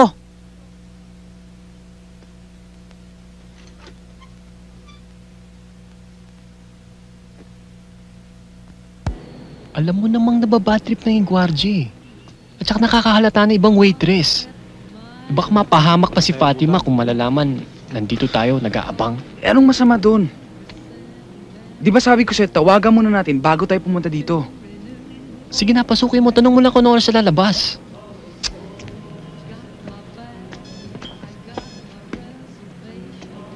O, ano ginagawa mo dito? Andiyan si Bodge sa labas. Ayaw pumasok eh. Pinapatanong kung matatagalan ka pa raw. Eh, may lakad ako pag sara nitong restaurant eh. Hindi ka sasama sa amin? Eh, sa ibang araw na marami pa akong ginagawa eh.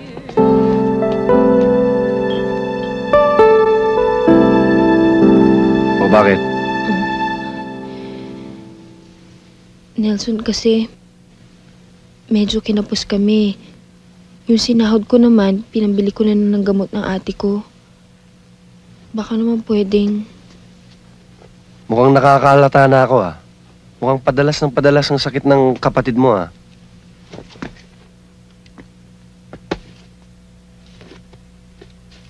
O yan. Tama na muna yan ah. Ayokong masanay ka. Ayoko yung nabuso ko.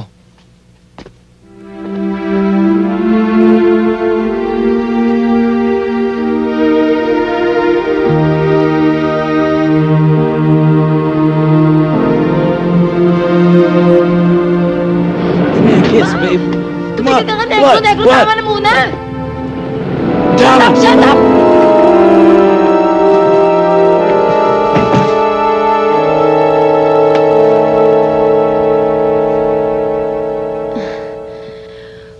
Bumisita kayo?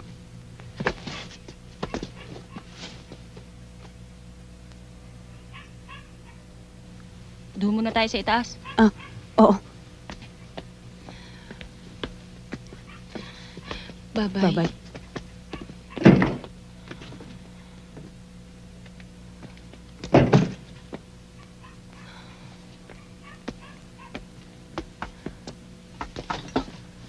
Ate, may kape dito kung gusto maiinit kita ng tubig.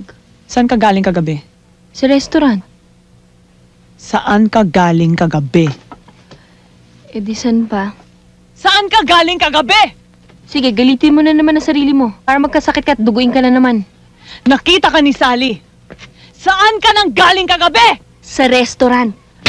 Saan ka nang galing?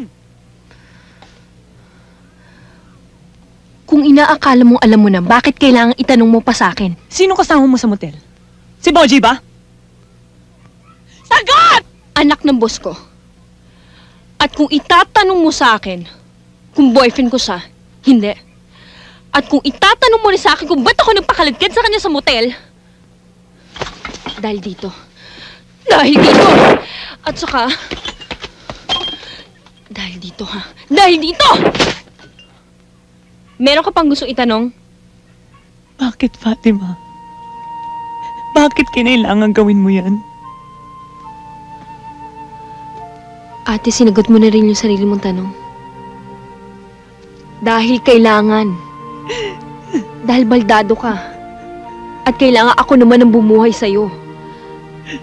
Kailangan ko magtrabaho. Yun lang eh. Yun lang ang tanging paraan para mapagkasa kong kinikita ko para sa ating dalawa. Buong buhay ko. Isinakripisyo ko para ikaw ang maging malinis. Lahat! Lahat ginawa ko para makaahon tayo sa impyernong ito. Tapos ito ang ginawa mo. Ate, sabi mo nga sa akin. Anong dapat ginawa ko? Ano? Anong dapat ginawa ko? Ate, pinanganak tayong marumi. Nabuhay tayong marumi at mamamatay tayong marumi. Pati ang anak mo. At kahit magdasal ka pa sa kakilala mong santo, tandaan mo, pati ang anak mo. Ate, lalaking marumi yan. Dahil marumi ang dugo natin. Lumayas ka. Lumayas ka. Ate, hindi na tayo pinakikinggan ng Diyos. Tama sabi nila. Mga kampun tayo ni Satanas. Lahat ng bagay na hinahawakan natin, nilalagyan natin ng mikrobyo. Lumayas ka. At huwag mong lalapitan ng anak ko. Malinis ito. Lumayas ka. Sa'yo na nanggaling yan, ate. Tama ka. Magkanya-kanya na tayo. Dahil ako, ayokong lokohin ang sarili ko para isipin na may katapusan pa to. Maliban na lang kung inuud na tayo sa mga hukay natin.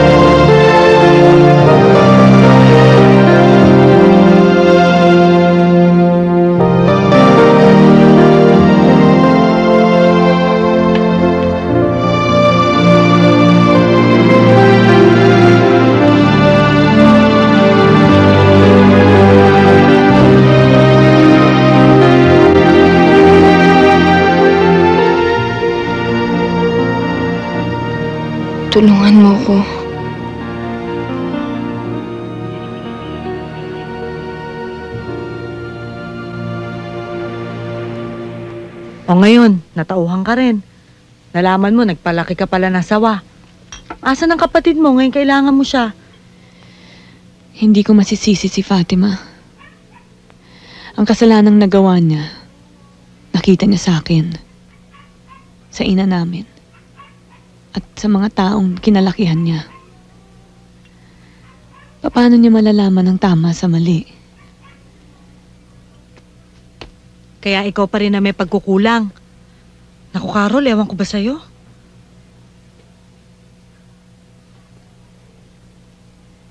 Hmm. Carol, hindi ka pwedeng laging ganito. Sinong titingin sa'yo? O ngayon, manganganak ka. Papanong bata? Naisip ko nga lagi. Palagi nasa utak kong sinabi ni Fatima na habang katabi ko ang batang ito, palagi siyang madadamay sa maruming mundo ko. Ano nga bang klaseng buhay ang maibibigay ko sa anak ko?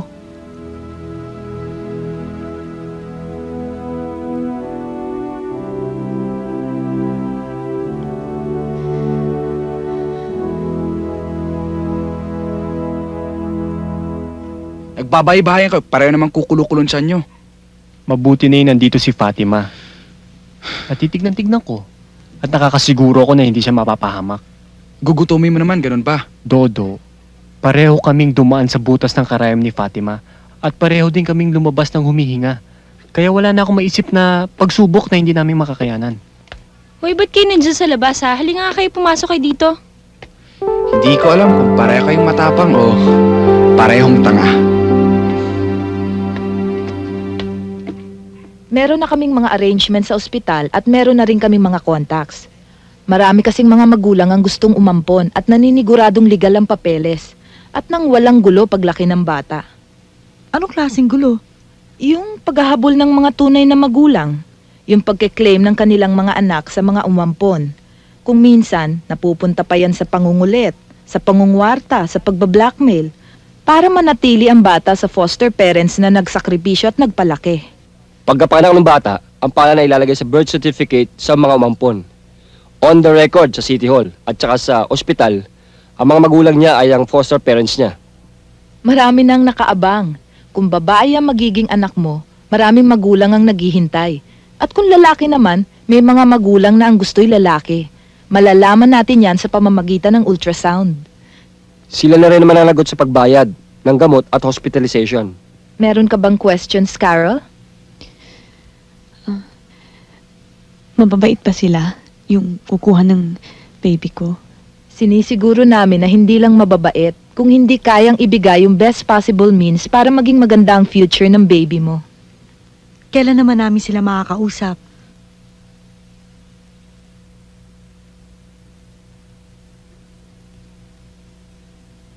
I don't think that's possible. Bakit? Dahil hindi nyo makikilala ang mga umampon. Para naman, pag dumating ang panahon na magbago ang desisyon ninyo, protektado ang foster parents, pati na rin ang bata. Gaano katagal kong pwedeng alagaan ang anak ko? Carol, it's best for you na hindi mo makita yung bata. Ano? Maniwala ka. Mas masakit kapag nahawakan mo ang bata at kinuha namin siya sa'yo. Kahit, kahit sandaling sandali lang. Isipin mo na lang na mapupunta siya sa mga taong handang magmahal at mag-aruga sa kanya ng lubos-lubusan.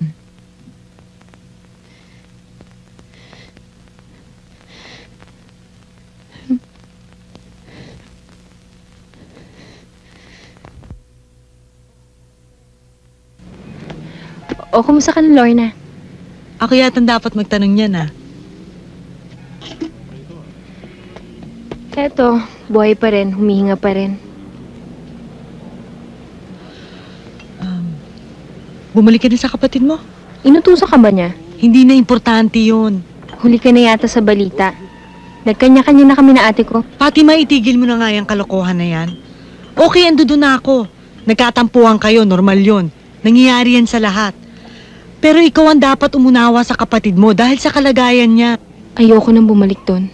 Makonsensya ka nga. Kahit gaano pa katindin tampo mo sa kapatid mo, hindi mo siya dapat pabayaan. Lalong-lalo na ngayon. Lorna, nang tinalikuran mo ang dati mong buhay, marami ka rin mga taong sinaktan. Lorna, yung mga pinahalagahan mong tao sa buhay mo ngayon, may ilan pa rin doon may mga tanim ng galit sa'yo. Lorna, hindi mo kayang paligayahin ang lahat ng tao sa mundong to. Kagustuhan ng ate ko magkaanak. Mahal ko siya. Malaki yung utang na loob ko sa kanya. Pero iisipin ko muna sarili ko ngayon, kagustuhan ko to eh.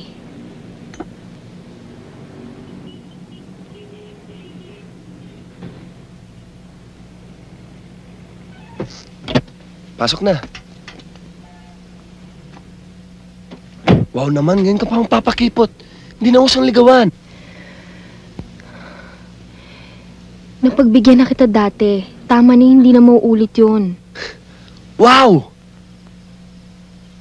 Sawa ka na ba sa pera? Kaya mataas ng ihi mo? Ha?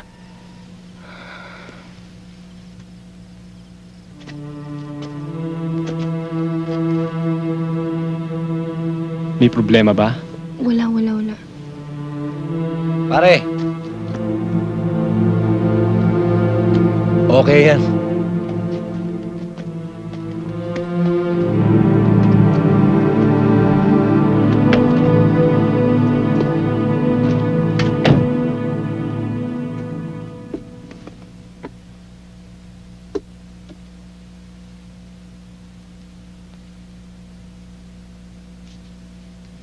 Bakit hindi mo sinabi sa akin ang tungkol sa kanya?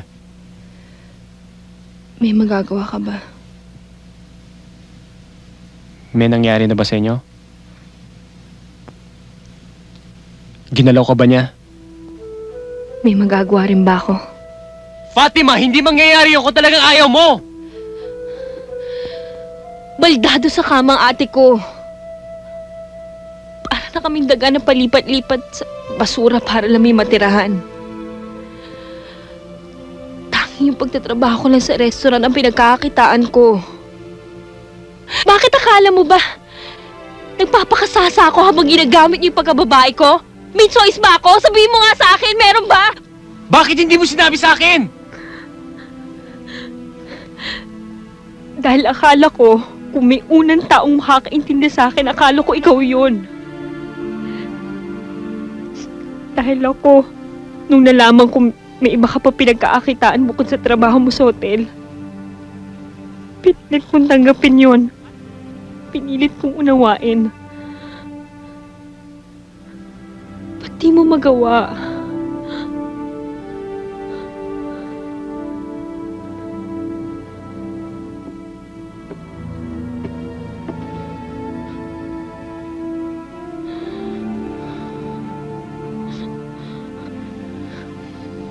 Mangako ka sa akin, Fatima. Sumumpa ka na hinding-hindi ka na magpapagamit sa lalaking yun. Sumumpa ka.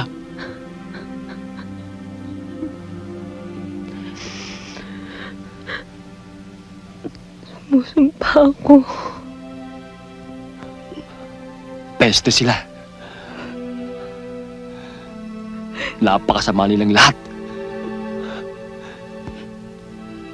Akala nila, dahil may pera sila, pwede na nila tayong tatuhin para mga hayop. Bakit kita nila?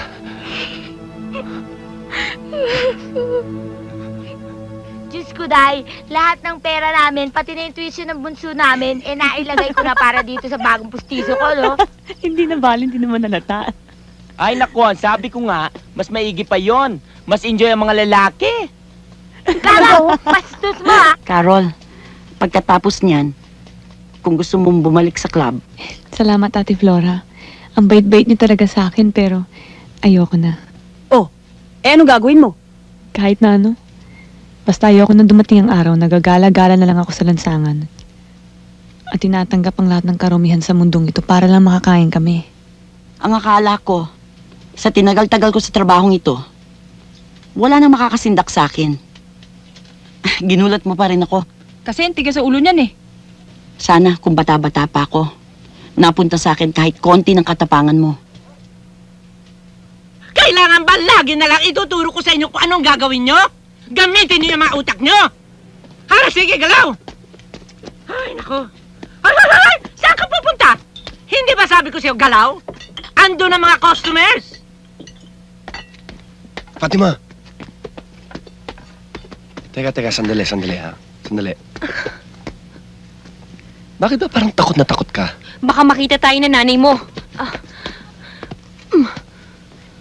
Mamaya, napag-usapan na natin to ah. ikaw naman oh. Parang naman hindi tayo magkaibigan. Wala naman ako ikukwento sa'yo eh. Mainit ang ulo ng mami ko ha. Kaya nga nasisanti si Ising, di ba? Sa tingin mo kaya, hindi siya magagalit pag sinabi ko sa kanya na inuuwi mo matira-tirang pagkain na hindi inuubos sa mga customer? Hindi totoo yan. Sus! Ito naman. Hindi ba dyan mo pa tinatago sa likuran, sa lalagyan ng mantika? Kakontsabo mo pa si Mang Fred. Hintayin kita mamaya sa may labasan. Pag-uwian, okay? Kung hindi mo ako sisiputin, medyo magbabay ka na sa mga kaibigan mo dito. Dahil hindi matatapos ang linggong to. Naghahanap ka na naman ng trabaho. Hindi lang dito mapagkakakitaan sa Maynila. Oo naman. Kaya nga hindi kita pinipilit eh. Basta ako, hihintayin kita mamaya dyan sa labas. Kung sisipot ka, okay. Kung hindi ka sisipot, okay na rin.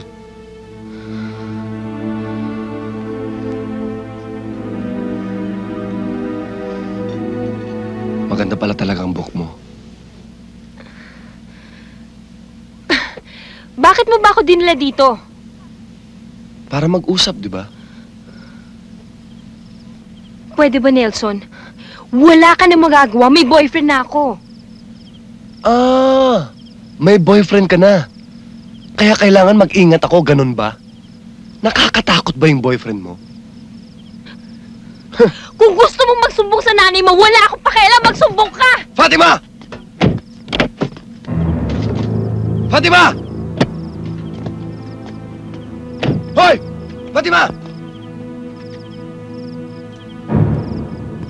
May pagyayabang kayang syota mo pag pinakita ko sa kanya tong laruan ko. Lumapit ka. Ayoko. Sa susunod, gagalingan ko ng pag-asinta ko. Lalapit ka pa o hindi? Lapit lang. Sige na. Lumapit ka naman. Sige na. Lapit, lapit. Bilisan mo naman. Lapit. Lapit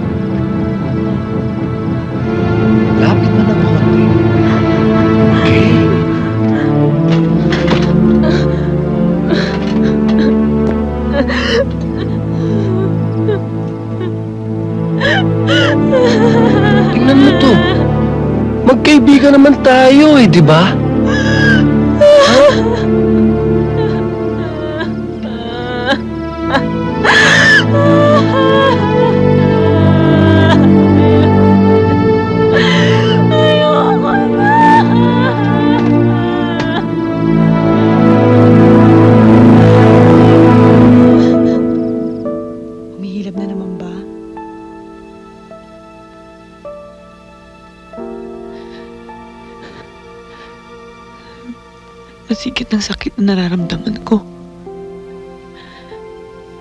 Lorna, ngayon ko lang mahahawakan ng baby ko.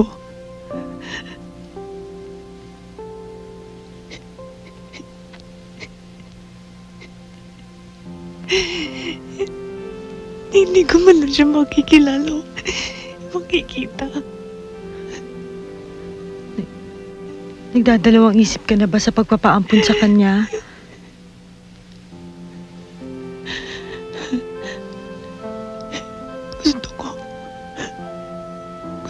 Maging maganda ang mundo ng anak ko. Gusto ko matikman niya ang buhay na para sa akin ay pangarap lang. Lord, na mahal na mahal ko baby ko.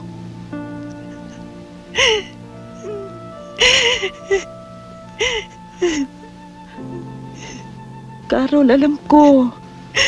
Pero kahit, kahit kanino pa mapunta ang anak mo, tandaan mo, ikaw pa rin ang ina niyan.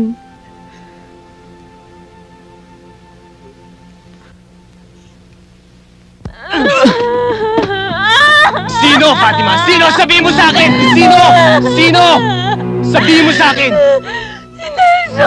Sumumpa ka sa akin, Fatima! Sumumpa ka! Nasaan siya? Nasaan siya? Nasaan siya? Pusis ka makialam dito! Nelson! Tama na! Buksan mo ako! Puchi, tama na! Ha? Tama na yan! Tama na, Nelson! Pwede ba? Tama na! Tama na, Nelson! Tama na! Tama Kumagilam!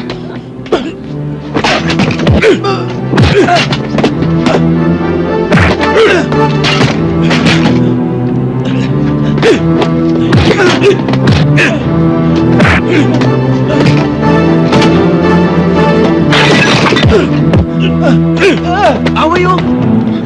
Dali! Tama na! Tama na! Tubig ka nga! Walang hiya ka! Ah! Aray ko!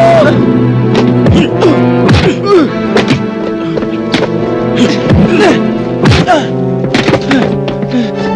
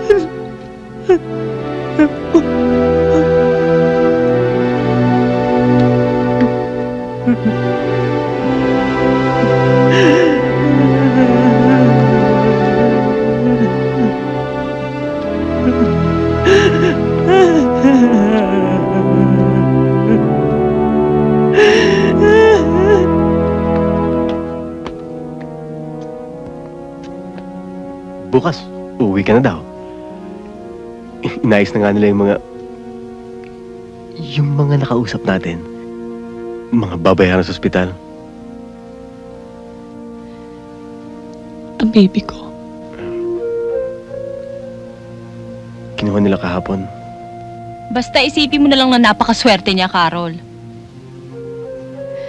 Thank you, Louie. Wala yun.